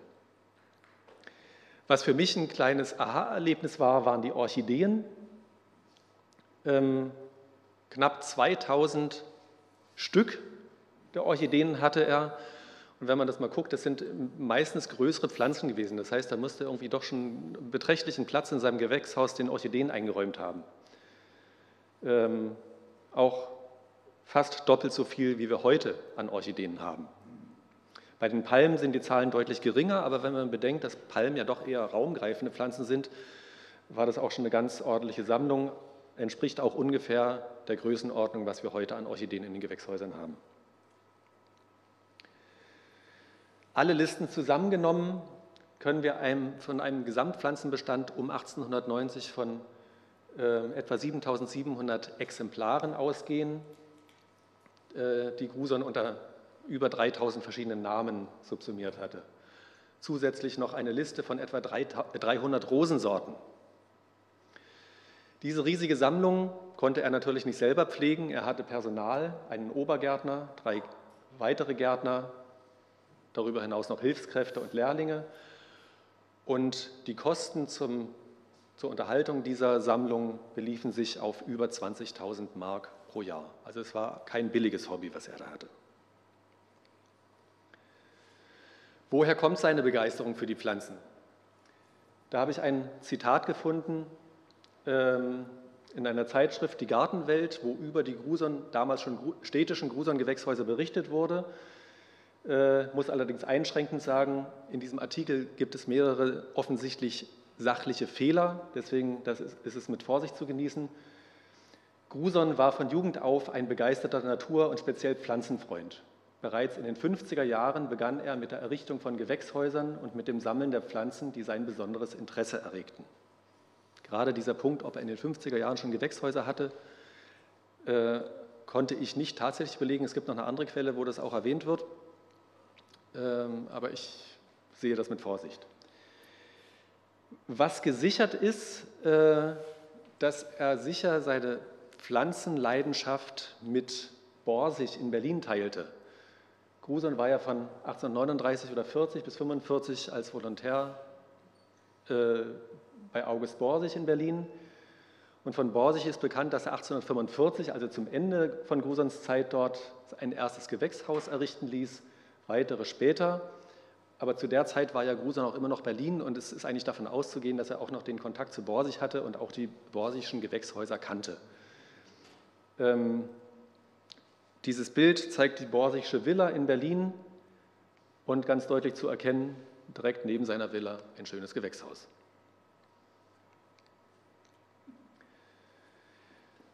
Die schon erwähnte Familiengeschichte, in der der Sohn Hermann Gruson über seinen Vater einige Seiten schreibt. Dort steht, unter diesen seinen Pflanzenkindern, die er selbst gezogen hatte, fand er seine Erholung. Im Hochsommer, wenn in, in den Gewächshäusern eine geradezu afrikanische Temperatur herrschte, war er stundenlang unter seinen Pflanzen und machte Versuche für Vermehrung und Kreuzungen der verschiedenen Arten oder beobachtete ihre Entwicklung. Er kannte jedes Exemplar und wehe dem Gärtner, der ihn etwa bemogeln wollte. Also er kannte seine Sammlung, er hat seine freie Zeit da verbracht. Es war wahrscheinlich sein einziges echtes Hobby, seine einzige Freizeitbeschäftigung. Dort war er in der Regel für sich und konnte seiner Leidenschaft frönen, hat Versuche gemacht und auch wenn es eher unangenehm war vom, von den Temperaturen, die tropischen, vielleicht mochte er sie auch, ich weiß es nicht, aber er ließ sich davon nicht abhalten, jedenfalls, um dort mit seinen Pflanzen zu arbeiten. Karl Schumann war Botanikprofessor in Berlin und war der erste Vorsitzende der Gesellschaft für Kakteenfreunde, ähm, die 1892 gegründet wurde. Äh, in der Monatsschrift für Kakteenkunde hatte dieser Karl Schumann eine, einen Nachruf ähm, auf Hermann Ruson geschrieben. Dort heißt es, schon während seiner rastlosen gewerblichen Tätigkeit bildete die Beschäftigung mit der Natur seine Erholung. Und mit welcher herzlichen Seelenfreude er den Umgang mit der Natur liebte, dafür legen in erster Linie seine prachtvollen Gewächshäuser ein volles Zeugnis ab. Wonach hat Gruser nur bestimmt, mit welchen Pflanzengruppen er sich beschäftigen wollte? Es gab zum einen rein rationale äußere Gründe, die lagen darin, dass sein, seine Gewächshäuser, seine Villa auf dem Werksgelände lagen. Ähm, dieser Artikel, den ich schon erwähnt hatte in der Gartenwelt, ähm, der legt es auch nochmal da. Es war auch dann weit nach seinem Tod, wo man nicht weiß, äh, wie gut kannte der Max Hessdörfer tatsächlich die Gegebenheiten 20 Jahre zuvor. Ähm, aber es klingt zumindest plausibel. Da sich die gesamte Gewächshausanlage auf seinem Fabrikterrain befand, waren rationelle Kulturen im Freien nicht möglich. Deshalb kamen mit Ausnahme von gewissen harten Sukkulenten, die den Rauchbelästigungen im Sommer standhalten konnten, nur Warmhauspflanzen in Frage, die während des ganzen Jahres unter Glas gehalten werden konnten. Tatsächlich ist es so, dass in den ganzen Listen zum Beispiel keine Zitruspflanzen auftauchen, die im Sommer bei uns draußen stehen müssen. Äh, die hätten wahrscheinlich diesen Rauchbelastungen nicht standgehalten.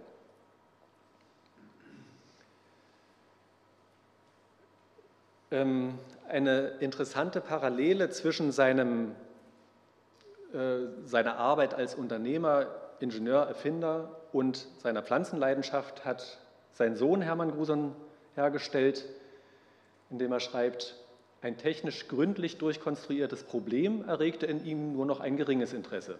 Es musste etwas Neues angepackt und durchgeführt werden. Hier in seiner Pflanzenwelt konnte er diese Gedanken ungehindert durchführen. Ein eifriges Studium hatte ihn bald zu einem absoluten Beherrscher der Pflanzenkunde gemacht. So entstanden nacheinander anschließend an das erste Gewächshaus ein Palmen, ein Gloxinien, ein Kroton, ein Kaladien, ein Nympheen, ein Chrysanthemum, ein Kakteenhaus. Und alles gedieh unter seiner Aufsicht und fachkundigen Leitung in der Vollendung, sodass seine Gewächshäuser in Sachverständigenkreisen bald einen europäischen Ruf hatten. Also es, äh, heutzutage sagt man immer der große Kakteensammler und Kakteenliebhaber Gruson, das war aber nicht von Anfang an so, sondern er hatte sich immer einer Pflanzengruppe zugewandt, hat die Kulturen optimiert und wenn er das Gefühl hatte, das läuft jetzt alles, das sieht toll aus, dann brauchte er eine neue Herausforderung und hat sich der nächsten Pflanzengruppe zugewandt. Kurz nachdem er seine Firma hierher verlegt hatte und seine Villa äh, auf, das, auf dem Grundstück hat bauen lassen, äh, hat er schon ein kleines Treibhaus bauen lassen. Zur Hälfte ein Farnhaus, zur anderen Hälfte ein Warmhaus. Kurze Zeit später, schon im Folgejahr, gab es einen Bauantrag und auch schon die Realisierung in diesem Jahr von drei weiteren Gewächshäusern und wiederum zwei Jahre später ein Palmenhaus mit 10 Meter Firsthöhe. Also was auch sicher zu damaligen Zeiten nicht billig zu bauen war. Er hat sich sein Hobby in der Tat was kosten lassen. Und dann in größeren Abständen folgten auch noch weitere Gewächshäuser. Das lässt sich auch anhand der Lagepläne ganz gut nachvollziehen. Wir haben ja einen Lageplan, nur der Ausschnitt mit seiner Villa, die hier ist, mit dem Garten, mit dem Teich und den Gewächshäusern, hier rot umrandet. Ähm, das ist ungefähr der Zustand, wie wir ihn eben schon auf dem Foto aus dem Krupp-Archiv gesehen haben. Nicht Foto, sondern auf dem Grundriss. 1891 im Lageplan sieht man hier oben etwas gelb unterlegt drei weitere Gewächshäuser. Das hat ihm also nicht, nicht gereicht, um seine Pflanzen dort unterzubringen. Es musste noch expandiert werden. Auch in dieser Vogelperspektive sieht man das. Hier vorne, hier irgendwo sitzen wir jetzt. Hier ist eine Villa, die im Moment gerade umgebaut wird, saniert wird. Der Garten ist heute überhaupt nicht mehr als Garten zu erkennen. Das Einzige, was jetzt noch steht, ist der Ginkgo, der damals wohl unter Grusern gepflanzt worden ist. Und man erkennt hier die Dächer der Gewächshäuser. Ich habe nochmal einen Ausschnitt vergrößert, um das zu sehen. Seine Gewächshäuser unmittelbar angrenzend an das Werk und an seinen Garten.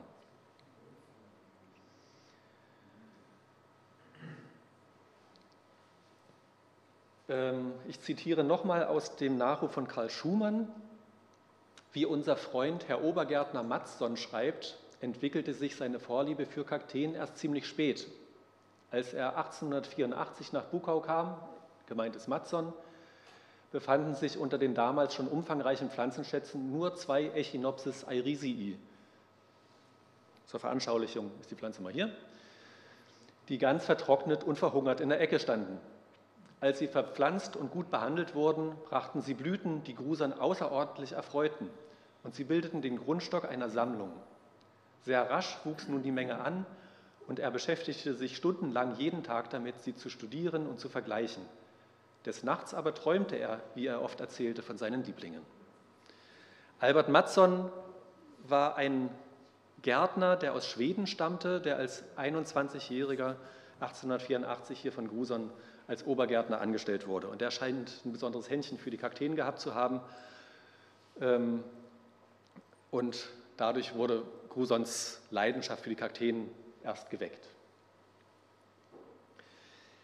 Dieses Foto ist mit Sicherheit äh, hier in seinen Gewächshäusern aufgenommen worden, ähm, wo man so einen Blick, Eindruck von der Grusonschen Kakteensammlung bekommt alle fein säuberlich in Töpfen und alle auch fein säuberlich etikettiert. Dasselbe Haus nochmal aus einer anderen Perspektive. Auch der Hermann Gruson Junior hat nochmal in der Familiengeschichte geschrieben, seine letzte Passion galt den Kakteen. Die Sammlung war schließlich die größte auf dem europäischen Kontinent. Das wird gern gesagt, die größte Kakteensammlung der Welt oder Europas äh, gibt es verschiedene Quellen, verschiedene Zitate, die das so suggerieren. Auch Karl Schumann nochmal.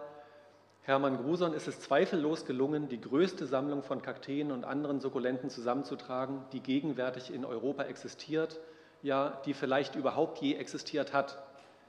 Wer einmal das Glück gehabt hat, diese Sammlung betrachten zu können, dem wird das Herz aufgegangen sein über die Fülle der Arten und die Schönheit der Exemplare.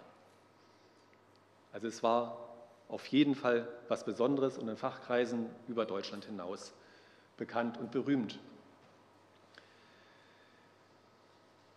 Ein Kaktus hat den Namen bekommen Grusonia cereiformis, die Gattung Grusonia benannt nach unserem Hermann Gruson. Ähm, in dem kleinen Artikel über diese Art steht, sie konnte wohl keinem würdigeren zu Ehren benannt werden als zu Ehren des geheimen Kommerzienrats Gruson, des Besitzers der größten und schönsten Sammlung und des unermüdlichen Pflegers unserer Sache. Also auch hier wieder die größte Sammlung, wobei dieser Artikel die, äh, aus, äh, nach den Nomenklaturregeln der Botanik noch nicht gültig veröffentlicht ist, weil hier eine Beschreibung der Gattung fehlt. Aber die, das wurde später von anderen Autoren nachgeholt. Die Gattung Grusonia gibt es heute und ist auch heute noch als solche äh, akzeptiert. Einige Arten Grusonia haben wir auch heute noch in den Beständen.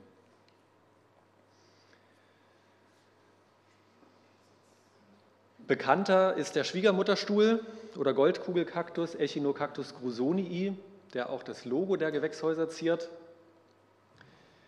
von Heinrich Hildmann beschrieben, äh, einem Gärtnereibesitzer in Birkenwerder bei Berlin. In der Erstbeschreibung 1886 ähm, ist das Benennungsmotiv nicht erwähnt, sondern erst in einem kleinen Artikel fünf Jahre später. Dort schreibt Hildmann, ich benannte sie zu Ehren des Herrn Geheimen Kommerzienrats Gruson in Bukow, falsch geschrieben, bei Magdeburg, in dankbarer Anerkennung seiner großen Verdienste auch in Bezug auf den Kakteenkultus. Ähm, vermut, man kann nur mutmaßen, dass es nicht nur die Verdienste von Gruson sind, sondern Gruson war sicher auch ein treuer Kunde bei Hildmann. Und auch Hildmann hat sicher von den Erfahrungen der Kakteenkultur in Gruson äh, profitiert. Äh, da war sicher ein reger Austausch zwischen den beiden. Ob es nun tatsächlich die größte Kakteensammlung war, wissen wir nicht. Es gibt zumindest eine Anzeige äh, in der Monatsschrift für Kakteenkunde von 1891, wo die Gärtnerei Friedrich Adolf Hage in Erfurt eine Anzeige geschaltet hat und sich selbst als die älteste und größte Kakteensammlung Europas bezeichnet. Was nun tatsächlich größer war, wir können es heute nicht mehr überprüfen. Was auf jeden Fall, wie wir es auf jeden Fall unverfänglich richtig sagen können, so wie es Ludwig Wittmark geschrieben hat, 1890, der geheime Kommerzienrat Gruson zu Buckau Magdeburg, der Besitzer der größten Privatsammlung von Kakteen in Deutschland. Das ist ziemlich ohne Zweifel richtig. Die Deutsche Kakteengesellschaft oder damals Gesellschaft für Kakteenfreunde, hatte ich schon erwähnt, wurde 1892 gegründet. Hermann Gruson war dort selbst nicht Mitglied, wohl aber sein Obergärtner Albert Matzon. Ähm, schon in dem Bericht über die erste Jahresversammlung wird eine Exkursion in die Grusonsche Sammlung erwähnt im September 1893. Und die zweite Jahreshauptversammlung fand dann in Magdeburg statt ähm, mit der, einer Führung durch die Grusonsche Sammlung, die ich ja auch schon äh, eingangs erwähnt hatte. Aber auch bei dieser Führung war Gruson selbst nicht anwesend, sondern die Führung hat äh, Albert Matzon gemacht. Ähm, ja, ich habe hier nochmal diesen kleinen Hinweis in dem ähm, Versammlungsbericht, Herr Professor Schumann toastete auf Herrn Geheimen Kommerzienrat Gruson, der sein Erscheinen zugesagt, leider aber an der Ausführung dieses Versprechens verhindert war. Wo hat Gruson seine Pflanzen herbekommen? Ähm, es ist belegt durch den Nachruf durch Karl Schumann, dass er 1884, also sozusagen mit Einstellung von Albert Matzon, 50 Prachtexemplare aus Hildmanns Geschäft aus der Gärtnerei bei Berlin gekauft hat. Ähm, es gibt ein kleines Notizbüchlein bei uns im Gewächshausarchiv, wo verschiedene Gärtnereien einfach nur aufgeführt sind, wo man jetzt auch nur mutmaßen kann, dass das also auch Bezugsquellen für Grusern waren. Ähm, Hage und Schmidt in Erfurt, Friedrich Adolf Hage ebenfalls in Erfurt. Das sind tatsächlich zwei getrennte Gärtnereien gewesen, die aber auf gemeinsame Vorfahren zurückzuführen sind, aber auch Gärtnereien und Personen in London, in, Bel in Belgien, Hildmann hatte ich schon erwähnt, ähm, das Schloss Dück bei Neuss, bei Glen und weitere. Und dann sind hier auch tatsächlich nochmal Kataloge aufgeführt, Wilmerin, Andrieux und Compagnie in Paris, diese Firma gibt es auch heute noch. Und Rosenzüchter in Trier und in Luxemburg. In demselben Notizbüchlein gibt es einen kleinen Reiseplan, tatsächlich mit Bahn, Ankunfts- und Abfahrtszeiten nach Brüssel. Ähm, ob Gruson das selber war, der dorthin gefahren ist, weiß ich auch nicht. Äh, es liegt aber nahe mit Stationen in Gent, in Neuss mit dem Schloss Stück, wo es eine Pflanzensammlung gab. Ansonsten in seinen Bestandsbüchern sind ja keine äh, Vermerke darüber, wo er die Pflanzen jeweils herbekommen hat. Gruson wird es bei den allermeisten gewusst haben, aber wir können jetzt wirklich nur noch aus der Literatur einzelne kleine Hinweise finden. Ähm, Henze, der danach Grusons Tod äh, Obergärtner in den Gruson Gewächshäusern war, schreibt über eine Pflanze in der Grusonschen Sammlung, über diese Furcroya, eine Agavenverwandte. Die abgebildete Pflanze bezog der geheime Kommerzienrat Gruson vor etwa 15 Jahren aus der bekannten Lindenschen Gärtnerei in Brüssel. Das würde jetzt korrelieren mit diesem Reiseplan. Eine Erstbeschreibung einer Art eines Säulenkaktus Cereus schumannii, die übrigens von Albert Matzon veröffentlicht wurde. Äh, da ist erwähnt, dass diese Art schon vor mehreren Jahren aus Honduras in die Grusanschen Gärten eingeführt wurde. Unklar auf welchem Wege und durch welche Personen, aber offensichtlich gab es auch Direktimporte aus den ähm, natürlichen Herkunftsgebieten der Pflanzen. Genauso wie dieser Pandanus, ein Schraubenbaum, in einer französischen Publikation ähm, Pandanus grusonianus, auch wieder nach unserem Gruson benannt. Die Pflanze wurde auf den Amiranteninseln, ich habe es aus dem Französischen übersetzt, die gehören zu den Seychellen, entdeckt, von wo sie im vorigen Jahr durch die Compagnie Continentale dort die Kultur nach Gent eingeführt wurde. Sie wurde dann in die Sammlung des Herrn Gruson weitergegeben. Diese Art oder der Artname ist auch heute noch so gültig und akzeptiert, aber soweit ich weiß, in keiner europäischen Sammlung vorhanden. Ist mir jedenfalls noch nicht untergekommen und man findet auch äh, nichts darüber.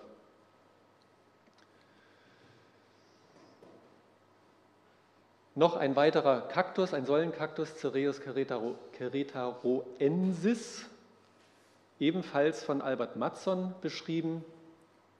Er schreibt dort drin,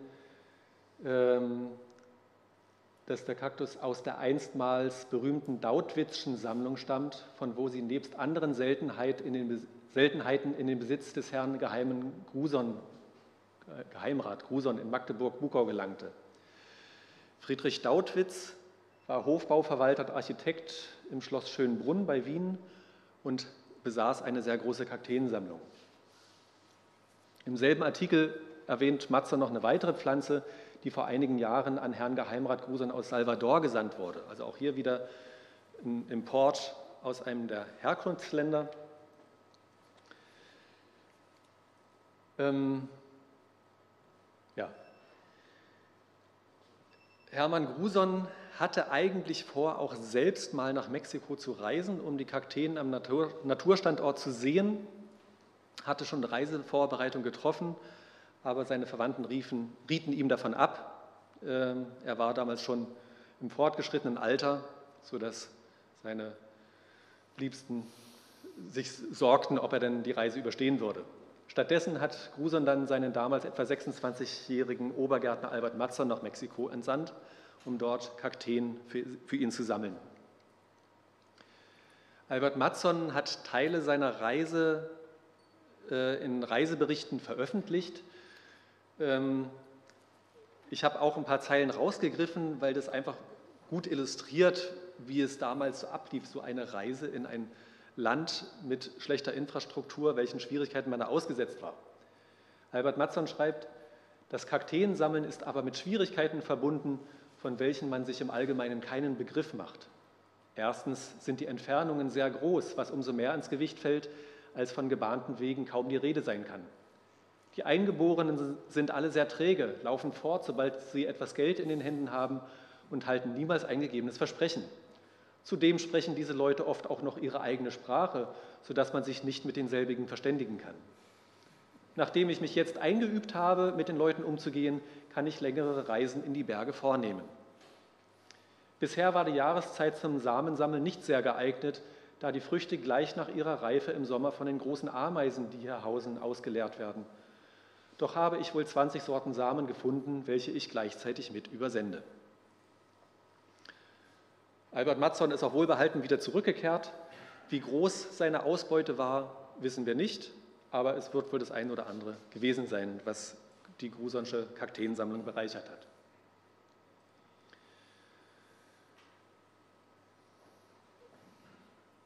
Ähm, wie ging es nach Grusons Tod mit der Sammlung weiter? Nach dem Schreiben des Magistrats vom 23. Februar des Jahres, also 1895, hat Herr Dr. Jur, der Sohn Gruson, einem Wunsche seines verstorbenen Vaters, des Geheimen Kommerzienrats Gruson entsprechend, der Stadt Magdeburg die sämtlichen Pflanzensammlungen des Verstorbenen einschließlich der Gewächshäuser und ihrer Einrichtungen, aber mit Ausnahme des Kalthauses, des Ananas und des Weinhauses als Geschenk angeboten. Die Stadt hat dieses Geschenk auch angenommen, wie wir wissen, hat dann nach einem Standort für die neuen Gewächshäuser gesucht. Es gab mehrere Varianten und es ist dann der Standort am heutigen Kloster Bergegarten dabei rausgekommen. Dort stehen die Gewächshäuser noch immer. Das ist ein Lageplan, den ich im Magdeburger Stadtarchiv gefunden habe, der Gewächshäuser kurz nach der Eröffnung, ähm, wo wir also ein Schauhaus am Eingang haben, was es nicht mehr gibt. Das Palmenhaus gibt es immer noch. Das Zygadenenhaus ist jetzt Kakteenhaus bzw. trockene Subtropen. Orchideenhaus existiert verkleinert. Kroternhaus, Aroideenhaus sind jetzt die Tropenhäuser. Hier, wo Kakteen steht, ist jetzt die Botanikschule. Das Sukkulentenhaus ist jetzt ein Lorbeerwaldhaus und das Farnhaus ist immer noch Farnhaus. Inzwischen sind noch ein paar mehr Häuser dazugekommen, aber finde es ganz eindrücklich, wo hier sogar nicht nur die Häuser, sondern auch noch der Weg markiert ist, wie der Rundgang gedacht ist zu der Zeit. Einen kleinen Eindruck, wie die Häuser von innen ausgesehen haben, das ist das Krotonhaus, wo man die meisten Pflanzen hier in Töpfen hat stehen sehen, aber in anderen Häusern waren die Pflanzen auch ausgepflanzt und als Landschaft gestaltet. Die Pflanzensammlung ist natürlich eine Lebenssammlung, wo es immer Verluste gibt. Ein erster herber Verlust muss es wohl bei den Orchideen gegeben haben. Der schon erwähnte Beitrag von Max Hessdörfer in der Gartenwelt äh, illustriert das, der an sich die Sammlung sehr lobend erwähnt, aber eben mit dieser Einschränkung bei den Orchideen. Das Orchideenhaus ist das Schmerzenskind der ganzen schönen Anlage. Es waren schon verschiedentlich als tüchtige Spezialisten bekannte Gehilfen für diese Kultur engagiert aber es sind nur noch wenige bemerkenswerte Orchideen vorhanden. Ich schreibe diesen Umstand der mir für Orchideenkultur ungeeignet erscheinenden Konstruktion des Hauses zu, bei der starke Temperaturschwankungen unvermeidlich sind. Ob das nun tatsächlich daran gelegen hat, vermutlich ist der Faktor der Gehilfen, die dann äh, vermeintlich Spezialisten waren, aber tatsächlich dann vielleicht doch nicht waren, zuzuschreiben. Das ist jedenfalls ein Foto was um 1900 entstanden sein muss in dem Orchideenhaus. Vermutlich haben wir in den heutigen Sammlungen noch genau zwei Pflanzen, die aus, Lebz, aus Lebzeiten von Hermann Gruson stammen. Das ist passenderweise ein Echinocactus grusonii. Dieses Exemplar, was die Gärtner scherzhaft Hermann nennen, etwa 150 Jahre alt, und ein Palmfarn, ein Zykas, der im Farnhaus steht, etwa 160 Jahre alt ist, im Moment ohne Wedel dasteht. Der ist durch die Baustelle, die um den Baum drumherum stattgefunden hat, etwas in Mitleidenschaft gezogen worden. Die sollen sehr hart im Nehmen sein. Ich hoffe jetzt und warte jeden Tag darauf, dass sich oben wieder grüne Spitzen zeigen. Ich hoffe, er lebt noch. Abschließen möchte ich meinen Vortrag mit einem Zitat. Ähm, ein Gedicht, das Hermann Gruson am Eingang seines Kakteenhauses hier auf seinem Gelände angebracht hat. Halt, lieber Wanderer, hemme deinen Schritt, wie die Natur spielt, wirst du baldigst sehen. Voll scheuer Ehrfurcht und Bewunderung tritt jetzt in die Zauberlande der Kakteen. Von einem heute unbekannten Dichter Eduard Jürgensen. Ich bedanke mich für die Aufmerksamkeit. Vielen Dank.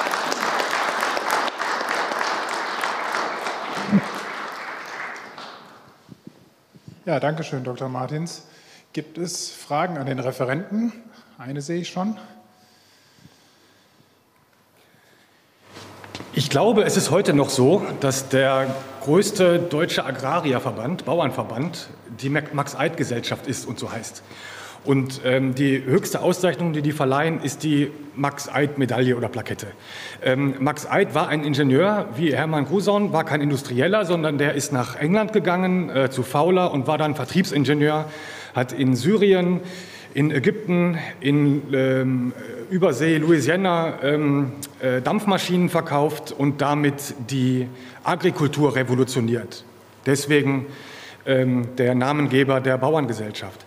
Ähm, und ähm, bemerkenswert an ihm ist halt, dass er mit ingenieurstechnischen Mitteln an die Agrikultur herangegangen ist. Ähm, wenn ich das alles sehe, stelle ich mir die Frage, äh, ist eine vergleichbare Problemlösungsorientierung bei Hermann Gruson auch bei seinen Pflanzen zu sehen? Also ich denke da vor allen Dingen an Bewässerung, an Bedüngung, an äh, Belüftung und all sowas, was ja durchaus aus einer Ingenieursperspektive Fragestellungen sein können, wie man sich Pflanzen nähert. Dazu habe ich in der Tat wenig Kenntnis. Ich weiß nicht, äh, wie er tatsächlich seine Gewächshäuser konstruiert hat oder konstruieren lassen hat, welche eigenen Erfahrungen er da eingebracht hat. Ähm, es wird gesagt, ohne dass ich das mit Quellen belegen kann, dass die Stahlteile der Gewächshauskonstruktion aus seinem Werk stammten. Ich weiß es aber auch nicht tatsächlich. Ähm, kann ich leider nicht viel zu sagen.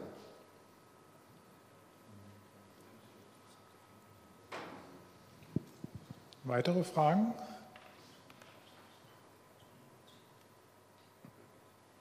Das scheint nicht der Fall zu sein. Dann haben Sie schon alles beantwortet.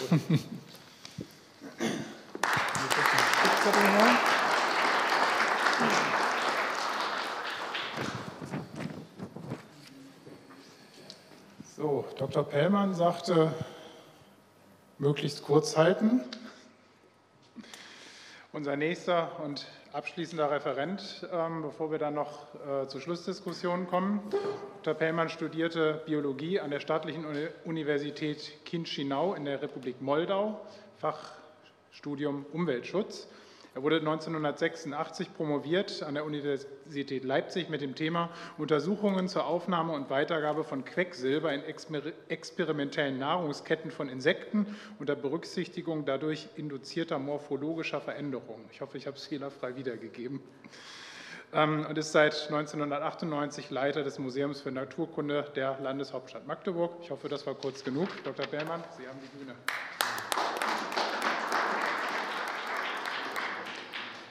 Schönen Dank für die kurze Einführung. Ja, meine sehr verehrten Damen und Herren, ähm, Herrn Neumann wird gleich äh, die erste Folie auflegen. Das Thema meines Vortrags lautet Hermann Gruson als Mitbegründer des Naturwissenschaftlichen Vereins zu Magdeburg. Das ist sicherlich eine in äh, vielen Kreisen wenig bekannte äh, Wirkungsstätte äh, von Hermann Gruson die aber im Zusammenhang mit dem Magdeburger Naturkundemuseum und dem Naturwissenschaftlichen Verein, den es heute noch gibt, interessant ist. Ja, ich habe meinen Vortrag äh, gegliedert in fünf äh, Aspekte, die jetzt gleich kommen. Und ich werde, je nachdem, wie die Zeit reicht, alle fünf äh, auch vortragen, sonst kürze ich äh, etwas ab. Zur Vorgeschichte des Naturwissenschaftlichen Vereins, äh, zu Magdeburg und zur Situation in Deutschland. Äh, ich habe hier mal eine Tabelle und daraus ist zu erkennen, äh, dass schon kurz nach dem Dreißigjährigen Krieg sich in Deutschland naturwissenschaftliche Akademien gebildet haben, wie die Leopoldina, die heutige nationale naturforschende Gesellschaft, aber auch äh, andere naturforschende Gesellschaften sind gegründet worden. Außerdem haben äh, aufgeklärte Fürsten entsprechende Kunst- und Naturalenkabinette eingerichtet, die dann später zu Museen geworden sind. Und ganz spannend, das ist dann hier in diesen äh, Ausschnitten zu erkennen, äh, aus der bürgerlichen Gesellschaft heraus sind äh, naturkundliche, wissenschaftliche Gesellschaften hervorgegangen, in denen dann äh, verschiedene Persönlichkeiten gewirkt haben und die Naturkunde Entwicklung vorangetrieben hat, haben. Nach Einschätzung von Walter von 1894 gab es wohl in Magdeburg auch wirkliche oder Laiengelehrten, die sich mit dem Studium der Naturwissenschaften im Allgemeinen und der Erforschung der Magdeburger Gegend im Besonderen zuwandten. Ihr Wirken war jedoch meist auf das Studierzimmer bzw. auf einen kleinen Freundeskreis beschränkt. Das Interesse an den Naturwissenschaften war aber vorhanden, wie der große Zuspruch an entsprechenden Vorträgen in der Handwerkermeistervereinigung oder Handwerker Bildungsverein zeigte. Mit der Gründung des Botanischen Vereins im Jahre 1864 in Magdeburg entstand eine erste naturwissenschaftlich ausgerichtete Vereinigung, auch ein botanischer Garten im Herrenkrug entstand. Weiterhin existierte ein mikroskopischer Verein. Wie eine Art Initialzündung zur Gründung eines naturwissenschaftlichen Vereins wirkte die in Magdeburg abgehaltene Generalversammlung des Naturwissenschaftlichen Vereins für Sachsen und Thüringen mit dem Sitz in Halle-Saale. Die Stimmung für einen eigenen derartigen Verein wurde durch diese Generalversammlung in der Stadt wesentlich erhöht. Ja, kommen wir zur Gründung des Vereins im Jahre 1869 und die Zeit bis 1871. Die Persönlichkeit, soweit wir das aus den Unterlagen entnehmen können, die uns vorliegen, die den wirklichen Anstoß zum Zusammenschluss der Naturfreunde in Magdeburg gab, war der Direktor Paulsig, der damalige Leiter der städtischen höheren Gewerbeschule der späteren Gärige Oberrealschule. Direktor Paulsig sicherte sich im Rahmen seiner Bemühung der Vereinsgründung zunächst die Unterstützung angesehener Männer Magdeburgs. Mit ihnen wurde eine Vorberatung im, in Stadt Prag anberaumt. Zu diesem Kreis gehörte auch Hermann Grusen, damals 48 Jahre alt, ein erfolgreicher, stadtbekannter und aufstrebender Unternehmer. Im Vorfeld war die Idee der Vereinsgründung bereits durch Privatgespräche vorbereitet worden. Die von Direktor Paulsek nun hier auf der Beratung vorgetragene Idee, ich zitiere, überzeugte die Anwesenden so sehr, dass sofort der Ausführung nähergetreten das Hervortreten an die Öffentlichkeit beschlossen und dem Gründungskomitee, bestehend aus den Herren Gruson, Grubitz, Paulsig, Schäfer und Schreiber, der Auftrag erteilt wurde, ein Vereinsstatut auszuarbeiten. Als Tag der öffentlichen Aufforderung zur Bildung des Vereins wurde der 13. September 1869 vereinbart und bis dahin sollte jeder in seinem Kreise für diese Idee werben. Und dann ging man in die Presse, in der Magdeburgischen Zeitung, die Pressearbeit vom 2. September, wurde die vorläufige Satzung mit einem kurzen Vorwort veröffentlicht. Ich zitiere wieder. Die Bildung des diesigen naturwissenschaftlichen Vereins, der am 14. September, dem Tag der Humboldt-Feier, in die Öffentlichkeit treten soll, ist im vollen Flusse begriffen, indem wir dem Verein recht viele eifrige Mitglieder wünschen, erfüllen wir im Interesse der Sache und zur, zur Beschleunigung des Umlaufs des, der Beitrittslisten hiermit gern die Bitte um Veröffentlichung der, des Statutsentwurfs. Und dann kommen die ähm, 1 bis 9 Paragraphen des Statutes. Ja, und die Pressearbeit ging weiter. Am 12. September, also zehn Tage später, wurde dann die Einladung zur konstituierenden Sitzung in diesem kleinen Kästchen rot umrandet und hier mal ein bisschen raus äh, vergrößert veröffentlicht. Da steht drin, alle, welche ihren Beitritt erklärt haben oder noch erklären wollen, werden ersucht, sich Montag, den 13. September, abends 6 Uhr im Oppermannschen Saal am Fürstenwall zum Abschluss der Konstituierung des Vereines einzufinden. Und man hat gleichzeitig im zweiten Teil noch das Programm für die Humboldt-Feier mit veröffentlicht. Erstens Festaktus im Rathaussaale, den 14. September, mittags 12 Uhr. Die für Herren und Damen gültigen Eintrittskarten, von denen die Mitglieder des Naturwissenschaftlichen Vereins je zwei erhalten, sind aus der Schäferschen Buchhandlung abzuholen. Und der zweite Teil dieser Humboldt-Feier sollte dann mit einem Festdinner im Saale der Gesellschaft Vereinigung Neue Weg 5 stattfinden, wie das Komitee mitteilte. Am 13. September dann die konstituierende Versammlung. Die Satzung wurde ohne Änderung angenommen und die Vereinsgründung ausgesprochen. In den Verein traten über die ausgelegten Listen 205 Mitglieder. Da laut Satzung die Verwahl des Vorstandes immer in der Dezemberversammlung stattfinden soll, wurde ein Interimsvorstand gewählt, den Hermann Gruson als zweiter Vorsitzender angehörte, wie aus der Abbildung zu erkennen ist. Äh, die Pressearbeit lief weiter. In der Abendausgabe der Magdeburgischen Zeitung vom 13. September, es gab also in Magdeburg damals nicht nur eine Tagesausgabe, sondern auch eine Abendausgabe, wurde nochmals auf die für den 14. September geplante Humboldt-Feier des Vereins hingewiesen. Interessant war für mich beim Durchschauen der äh, historischen Zeitungsschriften festzustellen, dass darüber hinaus am 14. September aus Anlass des 100. Geburtstages von Humboldt weitere Feiern stattgefunden haben, also nicht nur des neu gegründeten Naturwissenschaftlichen Vereins. Und ich habe Ihnen hier mal eine kleine Auswahl von diesen Festivitäten äh, aus der Zeitung herausgezogen, aus der Magdeburgischen Zeitung. Militärkonzert, Feier mit Gesang und Festrede in der Valhalla, Großer Werder. Zwei Gedichte waren in der Zeitung zu Ehren äh, Humboldts abgedruckt. Ähm, ein Beitrag des äh, Humboldt-Vereins für Volksbildung zu Breslau äh, war ebenso enthalten und auch Kaufannoncen. Man konnte also eine Büste von Humboldt kaufen, Fotografien und Publikationen. Die, Öffn äh, die öffentliche Festfeier zur Gründung des Naturwissenschaftlichen Vereins fand am 14. September im Bürgersaal des Rathauses statt. Dr. Gerhard Georg Gerland, Lehrer am Kloster unserer lieben Frauen, hielt die Festrede.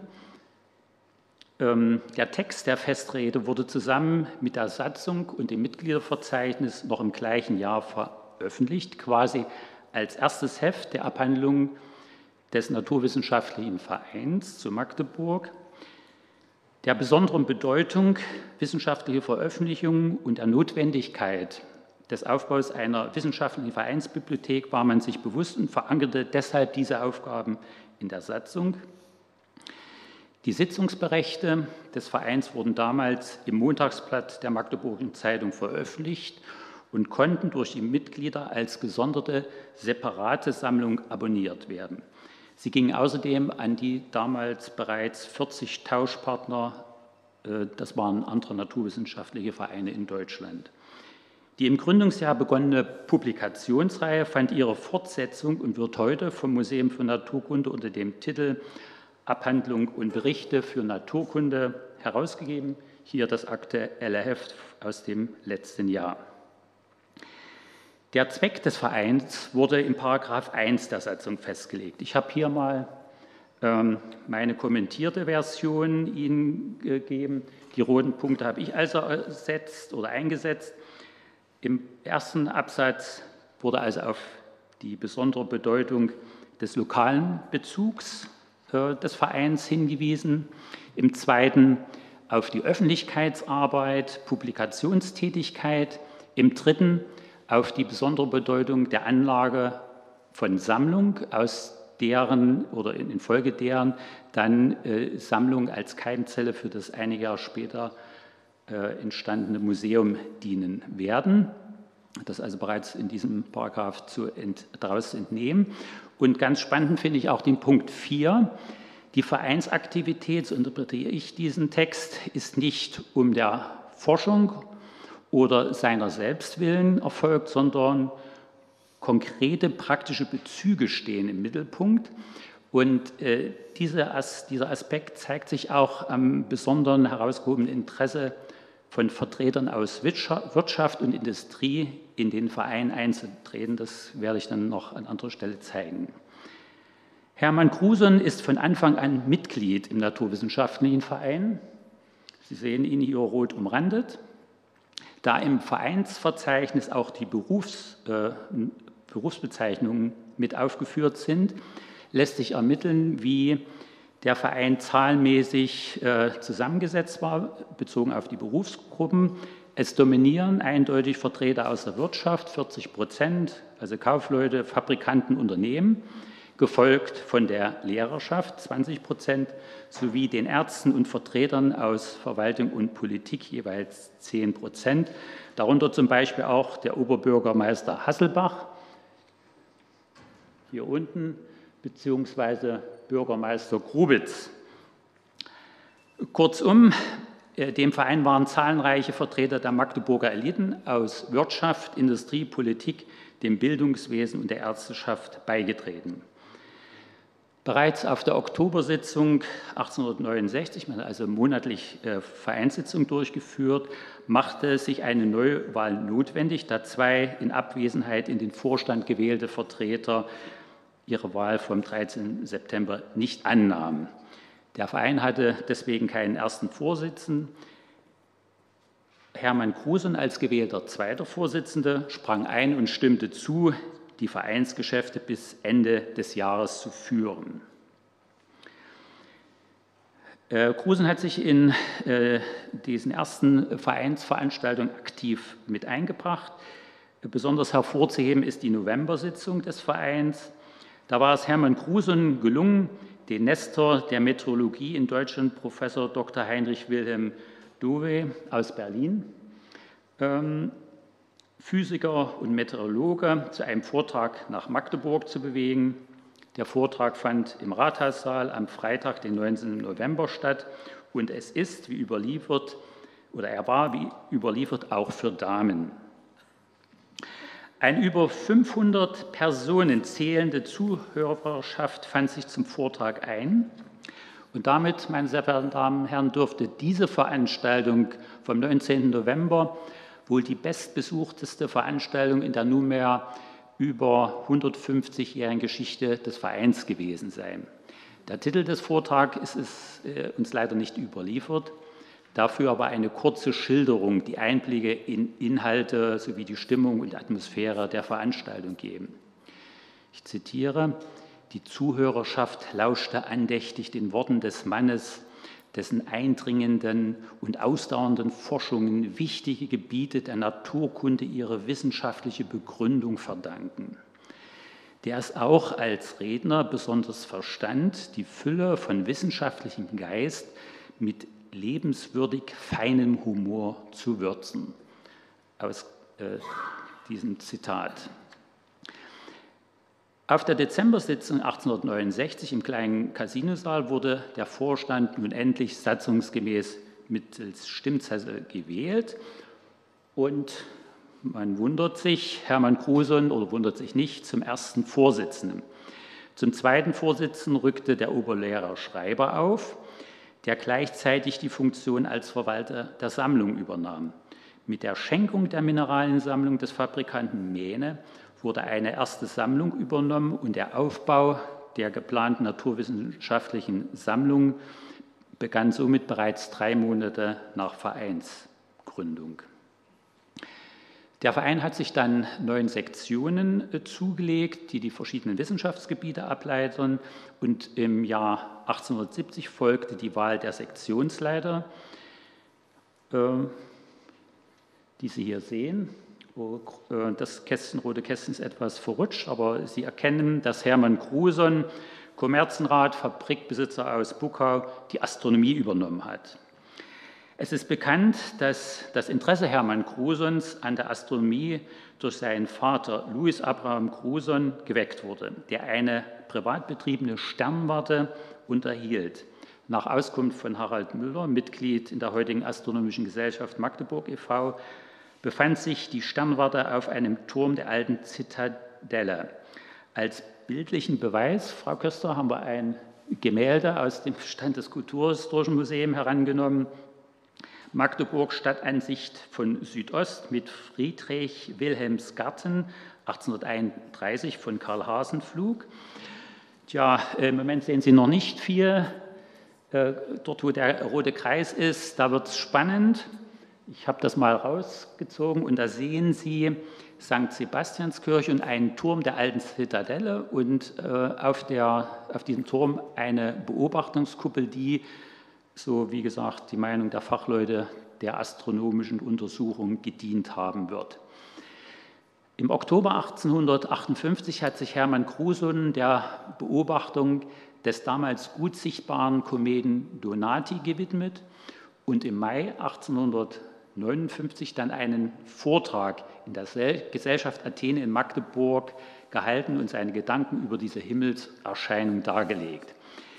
Dies war übrigens, soweit mir bekannt ist, der einzige von Hermann Cruson öffentlich gehaltene Vortrag zu einem naturwissenschaftlichen Thema. Weitere äh, Vorträge sind mir nicht bekannt.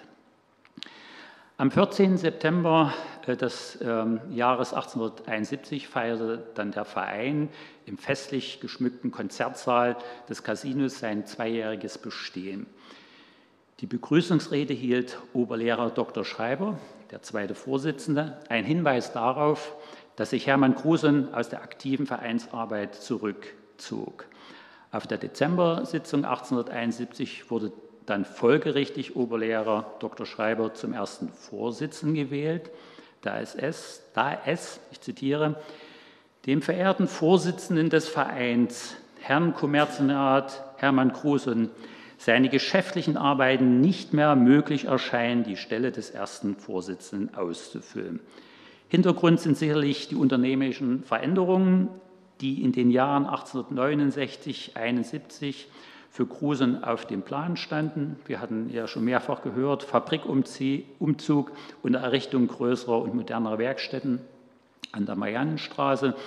Und auch die folgenden Jahre forderten Grusen als Unternehmer und Konstrukteur in besonderer Weise, sodass es nicht verwundert, dass er für den Verein und den Vorstand nicht weiter tätig sein könnte. Nach 1871 lassen sich in den Aufzeichnungen des Vereins für mehr als zwei Jahrzehnte keine Angaben über eine weitere aktive Mitarbeit Hermann Krusons zu finden. Wir wissen aber, dass er weiterhin und bis zu seinem Lebensende Vereinsmitglied geblieben ist, wie aus den regelmäßig veröffentlichten Mitgliederverzeichnis des Vereins zu nehmen ist. Letztmalig findet sich sein Name im Mitgliederverzeichnis vom Juli 1894. Er wird dort im alphabetischen und numerischen Verzeichnis der heimischen Mitglieder, Sie sehen es also äh, aufgeschlüsselt nach äh, auswärtigen und heimischen Mitgliedern, unter der Nummer 65 genannt. Gruson Hermann, Geheimer Kommerzienrat, B, Freie Straße 23. Wie ging es mit dem Verein und sein, äh, sein Museum nach 1871 weiter? Ähm, den Aufschwung, den der Verein nach seiner erfolgreichen Gründung in den folgenden Jahren genommen hat, ist beachtlich. An dieser Entwicklung hat sicherlich auch Hermann Gruson einen nicht unwesentlichen Anteil dank seines Engagements in der wichtigen Startphase und seiner Reputation war die richtige Weichenstellung für den Verein erfolgt. Der Verein war von Anfang an fest in der bürgerlichen Gesellschaft verankert und erfreute sich einer ständig steigenden Unterstützung auch von Seiten der Stadt. Die Entwicklung äh, lässt sich dann ganz kurz skizzieren. skizzieren. Ähm, der Verein konnte bereits am 24. Oktober 1875 sein erstes Vereinsmuseum der Öffentlichkeit präsentieren im Dachgeschoss des städtischen Realgymnasiums in der Brandenburger Straße 3a. Und auf dieses äh, damals gegründete Museum geht auch das heutige Städtische Museum für Naturkunde zurück. Äh, Frau Dr. Köster hatte in ihrem Vortrag äh, die Stiftung von Hermann Gruson unter anderem zum Thema von 1888 da hatte Hermann Gruson die beachtliche Summe von 100.000 Euro zur äh, Mark äh, zum Bau äh, eines städtischen Museumsgebäudes ähm, an die Stadt gegeben. Und ähm, auch äh, der naturkundliche äh, Verein mit seinem Museum äh, sollte in dieses Gebäude mit einziehen. Ähm, weil im Vorfeld äh, zwischen Verein und Stadt äh, schon ausgehandelt war, wenn der Verein sich auflöst, dann wird die Sammlung des Museums an die Stadt gehen, da die Stadt den Verein und sein Vereinsmuseum schon mit beträchtlichen Geldmitteln unterstützt hat. Dann gab es ähm, äh, die Zurückstellung dieses Projektes und das äh, Projekt ähm, Unterbringung aller äh, Sammlungen der Stadt, der städtischen Sammlung und auch des, äh, der Sammlung des Naturkundlichen Vereins im ehemaligen Generalkommandogebäude am Domplatz wurde favorisiert. Und dorthin ist, ähm, wie heute schon gehört, der Verein auch mit eingezogen. Hier mal eine Zeichnung vom Gebäude. Der Verein ist also hier oben in der zweiten Etage untergekommen. Und wie aus den Unterlagen zu nehmen ist, hat er auch einen separaten Zugang, also nicht durchs Hauptportal, sondern hier irgendwie über das Hintergebäude kam man dann in die zweite Etage, ganz separat. Und äh, so war das damals. Ähm, in den Aufzeichnungen des Naturwissenschaftlichen Vereins, das fand ich interessant, finden sich keine Hinweise darauf, ob sich Hermann Grusen an der Diskussion zum Thema Museumsneubau oder Nutzung des Gebäudes des ehemaligen Generalkommandos sowie der Unterbringung des Vereinsmuseums des Naturkundenvereins beteiligt hat. Also das spielt überhaupt äh, in den Unterlagen des Vereins keine Rolle. Frau Köster hatte ja äh, dargelegt, dass sehr wohl Hermann Gruson auf äh, diese Dinge Einfluss genommen hat. Aber im Verein spielt es keine Rolle. Ähm, Hermann Gruson und der Naturwissenschaftliche Verein in den 1890er Jahren. Am 1. Juli 1891 scheidet Hermann Gruson aus dem Vorstand seines Unternehmens aus und wird Privatier. Entsprechend seiner wissenschaftlichen Neigung entschloss er sich, seine Studien über verschiedene Himmelskörper und Erscheinungen fortzusetzen und reiste im Februar 1892 nach Ägypten. Die Ergebnisse seiner langjährigen wissenschaftlichen Beobachtung, wohl auch zum Kometen Donati, selbst beobachtet, wie ich vorhin schon sagte, 1858, einschließlich der Studienergebnisse aus Ägypten, legt er in seinem 1893 erschienenen Buch Im Reiche des Lichtes dar. Hier mal die Titelseite. Im Vorwort erläutert der Verleger Westermann aus Braunschweig, dass Gruson in seiner 40-jährigen Berufstätigkeit fast täglich die Gelegenheit hatte, die Erscheinung des Lichtes und der Wärme an den glühend heißen, geschmolzenen Metallmassen kennenzulernen. Seine gesammelten Erfahrungen führten ihn zu Schlüssen über die physikalischen Eigenschaften von Licht und Wärme, die sich mit den Ansichten der gängigen Lehrmeinung durchaus nicht im Einklang fanden, seine Ansichten haben von fachkundiger Seite aus manche Anfechtungen und Angriffe erfahren. Soweit äh, dieses Vorwort.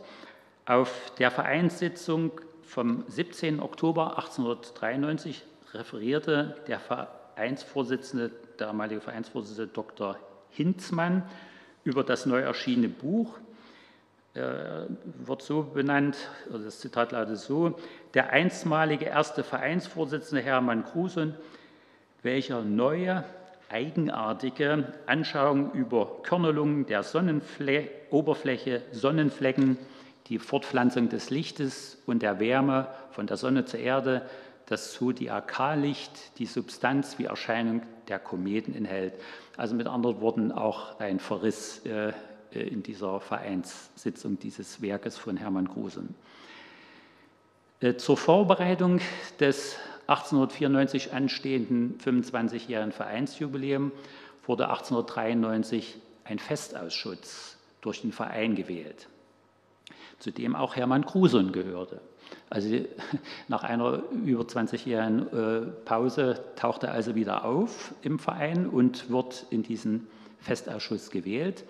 Der Festausschuss hielt 1894 fleißig Sitzungen ab mit dem Ziel, Vorschläge für die Feier zu entwickeln, die dann im August dem Verein zur Genehmigung unterbreitet wurden. Die Festsitzung wurde auf diese Weise gut vorbereitet und fand am 12. September 1894 statt. Ein Bericht über den Verlauf der Festsitzung ist uns überliefert. Frohe Festteilnehmer füllten Mittwoch, den 12. September, abends 6 Uhr, den Konzertsaal der Harmonie. Galt es doch, das Jubiläum des hiesigen Naturwissenschaftlichen Vereins im Kreise seiner Mitglieder, Freude, Gönner und deren Damen zu feiern. Laut Programm sollte der einstmalige erste Vorsitzende des Vereins Geheimer Kommerzienrat Gruson die Feier mit einer Ansprache eröffnen. Leider war der verehrte Herr durch Kränklichkeit an der Erfüllung dieser gern übernommenen Verpflichtung verhindert und zeigte dies dem derzeitigen Vorsitzenden Direktor Hinzmann am Morgen des Festtages an. Also sehr kurzfristig. Direktor Hinzmann übernahm deshalb außerplanmäßig zur eigentlich vorgesehenen Festrede auch die Begrüßungsrede und wo beide reden in glücklicher Weise miteinander. Also die Veranstaltung ist gerettet worden, äh, trotz der kurzfristigen Absage. Auf der Festveranstaltung wurden nach, oder wurden nach Beschluss des, Vor, äh, des Vereins fünf Ehrenmitglieder öffentlich benannt. Einer von ihnen war Hermann Kruse, äh, Bürgermeister, Vertreter des Vereins, Vertreter des Vereins, äh, Wissenschaftler aus Halle ähm, und äh, der ehemalige ähm, erste Vorsitzende. Äh, an den offiziellen Teil Achso, äh, sollte ich vielleicht noch erwähnen, äh, es gab künstlich ausgefertigte Ernennungsurkunden, die habe ich leider noch nicht gefunden. Vielleicht finden wir sie noch im Stadtarchiv, ähm, da müssen noch mal genauer nachgesucht werden. Das wäre also spannend zu sehen. An den offiziellen Teil der Jubiläumsveranstaltung schloss sich dann der gesellige Teil an, unter anderem mit Festmahl, mit Musik, gewürzt durch manchen Toast sowie mit einem launigen Festspiel und den Vortrag der Froschkantate durch vier Herren. Ähm, Im Januar 1895 verstarb ein alter Freund Grusons, der Oberbürgermeister Bötticher. Gruson wohnte, wohnte den Trauerfeierlichkeiten im Rathaus bei. Es ist überliefert, dass sich Gruson bald darauf nicht wohlfühlte, erkrankte und dann nur wenige Tage später am 30. Januar verstarb. Im Ergebnis dieser traurigen Ereignisse musste der Verein auf seiner Sitzung am 5. Februar dieses Jahres 1895 den Verlust zweier Ehrenmitglieder beklagen. Die Sitzung wurde auf Wunsch des Vorsitzenden dem Gedächtnis Gruson gewidmet und über die zweite Auflage seines Buches Im Reiche des Lichtes referierte Dr. Burchardt aus Berlin. Leider, obwohl Gruson diese Arbeit komplett überarbeitet hat bzw. überarbeiten lassen, wurde sie nach wie vor von der Fachwelt ähm, so verstanden, dass es eigenartige Ideen waren, die Hermann Gruson dort äh, zum Ausdruck gebracht hat. Ja, äh, ich komme kurz zur Zusammenfassung. Hermann Gruson ist einer der Mitbegründer des Naturwissenschaftlichen Vereins und dessen erster Vorsitzender hat in, Gründ, hat in den Gründungsjahren 1869 bis 1871 dank seines Engagements und seiner persönlichen Reputation einen nicht unerheblichen Anteil daran, dass sich in Magdeburg erfolgreich ein naturwissenschaftlicher Verein etablieren konnte. Die weiteren Aktivitäten des Vereins führten schließlich 1875 zur Gründung des Vereinsmuseums, aus dem das heutige Museum für Naturkunde hervorgegangen ist. Gruson beförderte mit seinem Mäzenatentum die Idee des Baus eines städtischen Museumsgebäudes, welches nach einer Interimsphase von 1893 bis 1906 und der Unterbringung der städtischen Sammlung und des Naturkundemuseums des Vereins am Domplatz mit der Einweihung des neu erbauten Kaiser-Friedrich-Museums für Kunst und Kunstgewerbe 1906 seinen Abschluss und seine Umsetzung fand. Und äh, er hat damit der Naturkunde, wenn auch nicht zu einem erhofften Neubau, auch dazu verholfen, dass das komplette Gebäude am Domplatz 5 mit all seinen Räumen für die folgenden fast 40 Jahre der Naturkunde allein zur Verfügung stand. Verein und Hermann Gruson fanden nach 1891 wieder stärker zueinander. So nahm Hermann Gruson 1893 die Berufung zur Teilnahme am Festausschuss zur Vorbereitung des 25-jährigen Vereinsjubiläums an, ebenso wie seine Ernennung zum Ehrenmitglied des Vereins.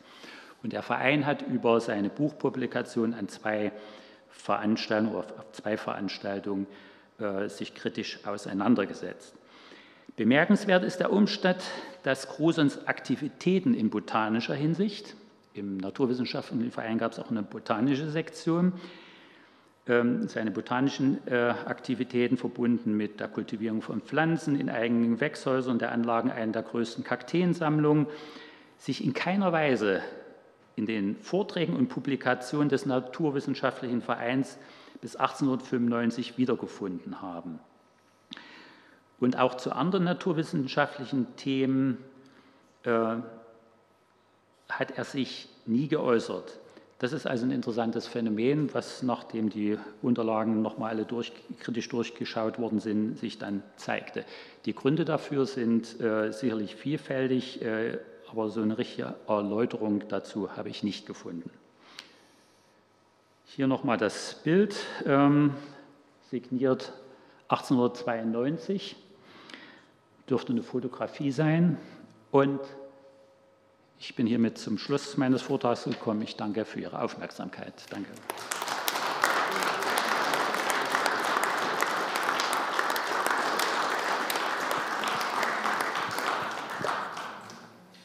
Herr Pellmann, vielen Dank für Ihren Vortrag. Jetzt wäre die Möglichkeit, noch Fragen an den Referenten zu stellen. Eine sehe ich schon, Herr Döring.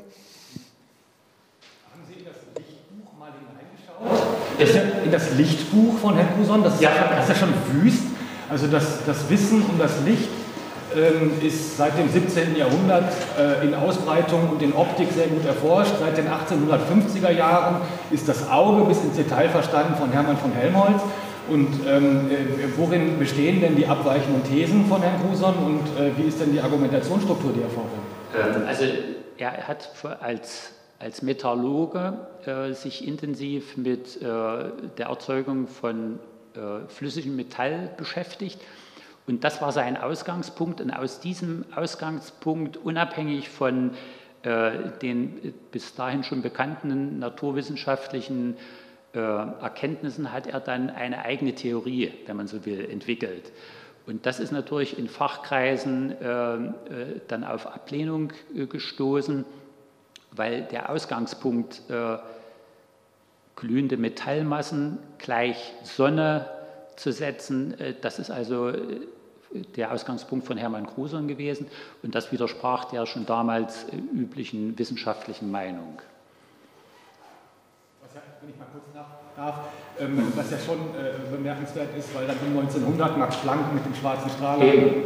Genau, also er war. Äh, das ist wahrscheinlich ein, generelles Problem gewesen, er war nicht in dieser wissenschaftlichen Community äh, verankert und kannte offenbar nicht die damals schon äh, sich durchsetzenden Theorien über diese Themen und deswegen ist dieses Werk äh, ein gewisses Kuriosum.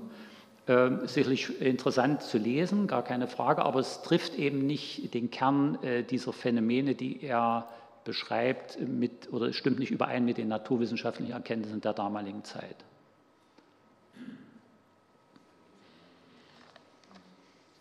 Gibt es noch weitere Fragen an Dr. Pellmann?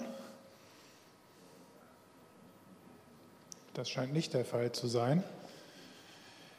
Dann kommen wir jetzt eigentlich schon, nee, da gehe ich mal weg, sonst gibt es gleich eine Rückkopplung. genau, danke, nochmal Ihr Applaus. Dann sind wir eigentlich auch schon langsam am Ende unserer Tagung angekommen. Es sind jetzt noch alle, bis auf Dr. Heiden, noch alle Referenten vollzählig. Wenn also jetzt noch was offen geblieben ist aus den vorangegangenen ähm, Sektionen, wäre jetzt noch mal die Möglichkeit, die Referenten zur Rede zu stellen.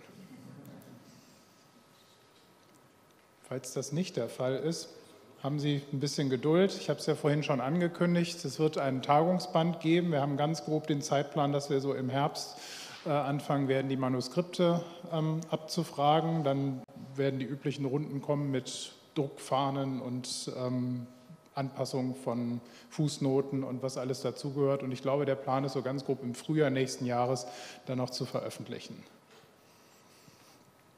Wenn ich jetzt so die Tagung Revue passieren lasse, stelle ich fest, wir haben uns den ganzen Tag mit Hermann Gruson beschäftigt, aber wir wissen doch immer noch sehr wenig von ihm. Für mich war es sehr spannend zu sehen, dass Behauptungen, starke Behauptungen, die in vielen Quellen immer wieder wiederholt worden sind, dann doch der tatsächlichen Betrachtung, wenn man in die Archive geht, wieder nicht standhalten. Das ist ganz besonders für die Vereinstätigkeit der Fall gewesen. Ich habe es auch an mehrfacher Stelle gelesen, dass Gruson angeblich sich gesellschaftlich fast nicht betätigt hätte im kulturellen Leben Magdeburgs. Wir haben an mehreren Beispielen gehört, dass das definitiv nicht der Fall gewesen ist. Es gibt andere Beispiele dafür. Also ähm, ja, das bestätigt mal wieder das, was wir eigentlich schon wissen. Es hilft alles nichts, wir müssen in die Archive gehen, wir müssen an die Quellen ran. Es war schön zu hören von Professor Stremmel und auch von Dr. Heiden, dass es diese Möglichkeiten gibt, dass es durchaus Bestände gibt, die teilweise schon seit vielen Jahren eigentlich zugänglich sind, die nur offensichtlich bisher noch niemand sich richtig zur Hand genommen hat. Ähm, und wir wissen auf der anderen Seite, dass jetzt im ähm, Landesarchiv eben mit dieser großen Übernahme des ehemaligen SCET-Bestandes ähm, noch ein großes Feld aufgemacht worden sind. Wir wissen wahrscheinlich noch ganz vieles nicht über diesen Bestand. Das hat Dr. Heiden ja auch schon äh, erklärt, wie man da jetzt vorgehen wird. Aber äh, für mich ist persönlich unterm Strich diese Tagung eine große Einladung, sich eben doch noch mal intensiver mit Hermann Gruson zu befassen, den Vergleich auch zu wagen mit anderen Unternehmerpersönlichkeiten. Professor Stremmel hat das vorgemacht. Es gäbe sicherlich gerade auch hier in Magdeburg noch mal andere Persönlichkeiten. Ich habe das auch nur einmal ganz kurz angekratzt, indem ich einfach geguckt habe, wie sah es denn mit den Sozialeinrichtungen, mit den Speisesälen bei den anderen großen Unternehmern aus. Aber es war wirklich nur ein ganz kurzes Kratzen an der Oberfläche. Also ob Hermann Gruson der erste und einzige war, der eine Badeanstalt für seine Arbeiter hatte, ich weiß es nicht nicht. Das war jetzt erstmal nur so das erste, ähm, der erste Eindruck des Ganzen. Gerd. Also meine Empfehlung wäre, da wir dem Hermann Bruder in unserer Stadt noch, ich sag mal, gleichrangige Unternehmer haben, sich auch mit einer ähnlichen Intensität mit diesen Personen zu beschäftigen, vorrangig angefangen von Rudolf Wolf über Schäfer und Gutenberg und Du hast ja auch gerade die, diese Familiengeschichte der Gutenbergs von der äh, Nachfolgerin von Gutenberg erhalten. Und da äh, kann man so ein bisschen nachvollziehen, wie viel Inhalt da ist. Und ich denke, es ist auch an der Zeit, oder höchste Zeit, also verstärkt auch in Magdeburg auf diese Persönlichkeiten hinzuweisen, weil die, ich sage immer, die stehen eigentlich für die Stadt, wie die heute strukturell aufgestellt ist. Man kann die Spuren überall noch sehen. Und ich denke, es wäre angemessen, sich mit gleicher Intensität mal diesen Persönlichkeiten zuzu, äh, zuzuwenden. Und ja, ich habe, wir haben schon darüber gesprochen, mich würde auch interessieren, wie diese Leute untereinander kommuniziert haben.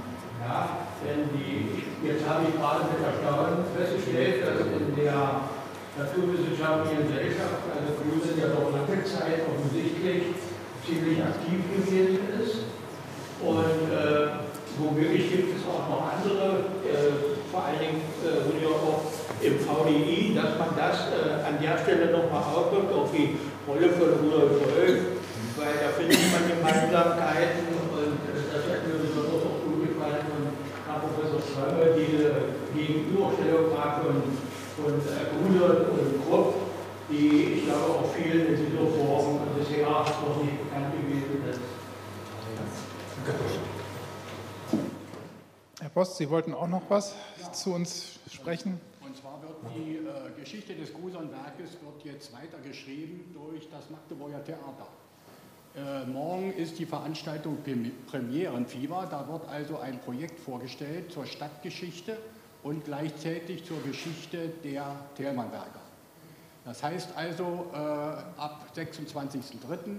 finden sechs Veranstaltungen statt, a 40 Mann. Die ersten drei sind schon ausgebucht. Äh, da wird, äh, werden also Zeitzeugen, die damals im Thelmannwerk gearbeitet haben, wie ich, die werden dort äh, bei der Führung durch das gesamte äh, Werk, vom Technikmuseum zur Hauptverwaltung bis äh, zum Betrieb 13, werden dort vorgestellt und es wird immer etwas über die Geschichte äh, erzählt, äh, wie es äh, 1989, 90, 93 hier im Werk war. Sie sind herzlich eingeladen. Dokumentieren Sie das auch? Haben Sie jemanden dabei, der gefilmt? Ja, die Stadt macht das, das wird alles dokumentiert. Ja, also wer das jetzt im Einzelnen macht, ja, das macht die Frau äh, Will, Will, Williams und äh, Kielerlin und Czerny und, und wie sie alle heißen, also alle Magdeburger Theaterregisseure sind an diesem äh, äh, dabei. Und die Veranstaltung beginnt am 26.03. hier vorne an der Tür. Ist eine offizielle Theaterveranstaltung, hier dort sind lang und breit beschrieben im Theaterbüro für diesen Monat. Titel unter schwebenden Lasten. Wir sind stolz, Mitveranstalter sein zu dürfen. Dr. Volkmar wollte noch was. Ja, ich glaube, ich spreche für viele Zuhörer heute, wenn ich nochmal einen Dank ausspreche an die Veranstalter, an Herrn Dr. Martins und Herrn Dr. Neumann, die sich hier eines Themas angenommen haben, von dem wir ja eben gehört haben. Es ist noch viel zu tun. Und äh, dazu vielleicht äh, zwei Gedanken. Zum einen ist ja die Frage, wann konnte bisher über diese Themen in Magdeburg geforscht werden? Und wenn wir uns das genau anschauen, ist es ein relativ kleiner Zeitabschnitt von ungefähr um 1900 bis ungefähr in die 1930er Jahre, als es eine äh, innovative und auch äh, aktive stadtgeschichtliche Forschung in Magdeburg gegeben hat, die von den Leuten getragen wurden, die eben damals geforscht haben. Das waren meistens äh, Lehrer, Pfarrer, Intellektuelle, die damals die Grundlagen für stadtgeschichtliche Forschung gelegt haben. Dann gab es eine lange Zeit, wo diese Themen eben nicht mehr en vogue waren und im Grunde genommen, und das ist eigentlich mein erster Punkt, den ich sehr betonen möchte, stehen wir hier immer noch völlig am Anfang. Am Anfang einer Bewegung, die Magdeburger Stadtgeschichte in allen ihren Epochen, in allen ihren Dimensionen, in allen ihrem Reichtum wieder zu entdecken, uns das kulturelle Erbe unserer Stadt wieder zu erschließen und dann auf diesem Erbe dann eben auch Zukunft zu bauen. Und das ist einfach ein Prozess, das kann man auch äh, 30 Jahre nach der Wiedervereinigung nicht genug betonen, der seine Zeit dauern wird. Deswegen ist diese Veranstaltung so wichtig und gleichzeitig glaube ich, ist es schon auch wichtig, dass wir fragen, wer tut das dann? Wir haben heute einen sehr äh, diskussionsfreudigen Vertreter der Universität bei uns gehabt, das freut mich sehr und dafür bin ich dankbar. Aber wir wissen natürlich auch, dass die Geschichtswissenschaften hier an der äh, Otto von Gericke Universität vor einigen Jahren als Studiengang eingestellt worden sind. Und damit fehlen uns natürlich auch ganz wesentlich junge Leute, die hier die stadtgeschichtliche Forschung vorantreiben können. Äh, und wenn wir uns anschauen, wie beispielsweise ich als Leipziger blicke nach Leipzig, äh, die große Leipziger Stadtgeschichte, die in den letzten Jahren publiziert wurde mit etwa 80 Personen, die sich daran beteiligt haben mit eigenen Beiträgen. Wenn man guckt, wo die herkommen, sind das natürlich alles Leute der örtlichen Universität. Das heißt, wir haben in Magdeburg schon auch die Schwierigkeit, Nachwuchs zu organisieren für Magdeburger Themen. Und der Fachbereich Stadtgeschichte und historische Sammlungen ist seit einigen Jahren dabei, selber Veranstaltungen, selber Publikationen, Ausstellungsprojekte vorzubereiten, aber eben auch die Kontakte zu auswärtigen Universitäten zu knüpfen um eben solche Projekte auch nach vorn zu bringen. Wir haben im Stadtarchiv zurzeit das Projekt Deutscher Historischer Städteatlas Magdeburg und ich lade Sie alle ein, am 30. Juni zu einem Workshop, einem öffentlichen Workshop im Kloster Bergergarten zu diesem Projekt. Hier ist der Kooperationspartner die Universität Münster, die also dieses Projekt mit uns gemeinsam und vielen Vertretern auch verschiedener Ämter der Stadt organisiert. Und es gibt eben auch Kontakte zu anderen Universitäten. Ähm, Leipzig beispielsweise ist ein Ort, wo in den letzten Jahren Veranstaltungen zur Magdeburger Stadtgeschichte regelmäßig angeboten werden. Die Magdeburger Stadtgesellschaft sollte trotzdem nicht aufhören, darauf zu hoffen, dass auch an der Otto von Gericke Universität wieder junge Leute in einem Studiengang, den es leider, wie gesagt, im Moment nicht gibt, ähm, an die Themen herangeführt werden können. Und ich wünsche mir das sehr, weil es das reiche Engagement von Vereinen, die hier in der Stadt sich um verschiedene Aspekte der Stadtgeschichte kümmern, äh, bereichern würde, wenn es eben dieses junge, forschende Blut äh, gibt, wenn Sie mir diesen etwas altväterlichen Ausdruck äh, verzeihen mögen. Es geht eben darum, die nächste Generation an die reiche Geschichte unserer Stadt heranzuführen. Und da haben wir offen gestanden noch einiges an Arbeit zu leisten. Aber deswegen ist so ein Tag wie heute ein wunderschöner Tag, weil es zeigt, welche welches Potenzial diese Themen haben, weil wir viele auswärtige Referenten auch gewinnen konnten. Und da möchte ich für die Arbeit und auch für den Mut, das jetzt in Corona-Zeiten im dritten Anlauf dann zum Ziel zu bringen, Herrn Dr. Martins und Herrn Dr. Neumann nochmal herzlich danken.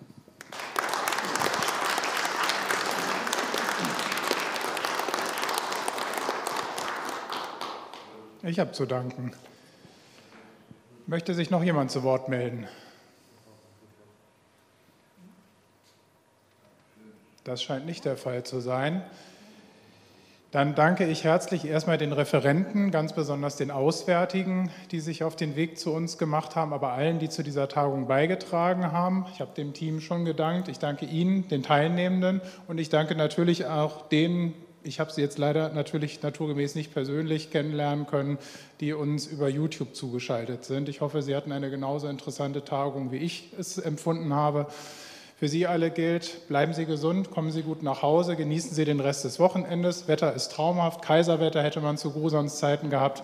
Und das Fazit, was ähm, Dr. Volkmar gerade gezogen hat, da sind wir dann auch wieder bei Gruson. Wir hatten es mit den Pflanzen. Er ist mit einem Gebiet fertig, das ist dann okay, das kann dann zur Seite geschoben werden und dann das Neue. Wir sind noch nicht fertig, wir stehen noch am Anfang. Ich freue mich drauf. Dankeschön, dass Sie bei uns waren.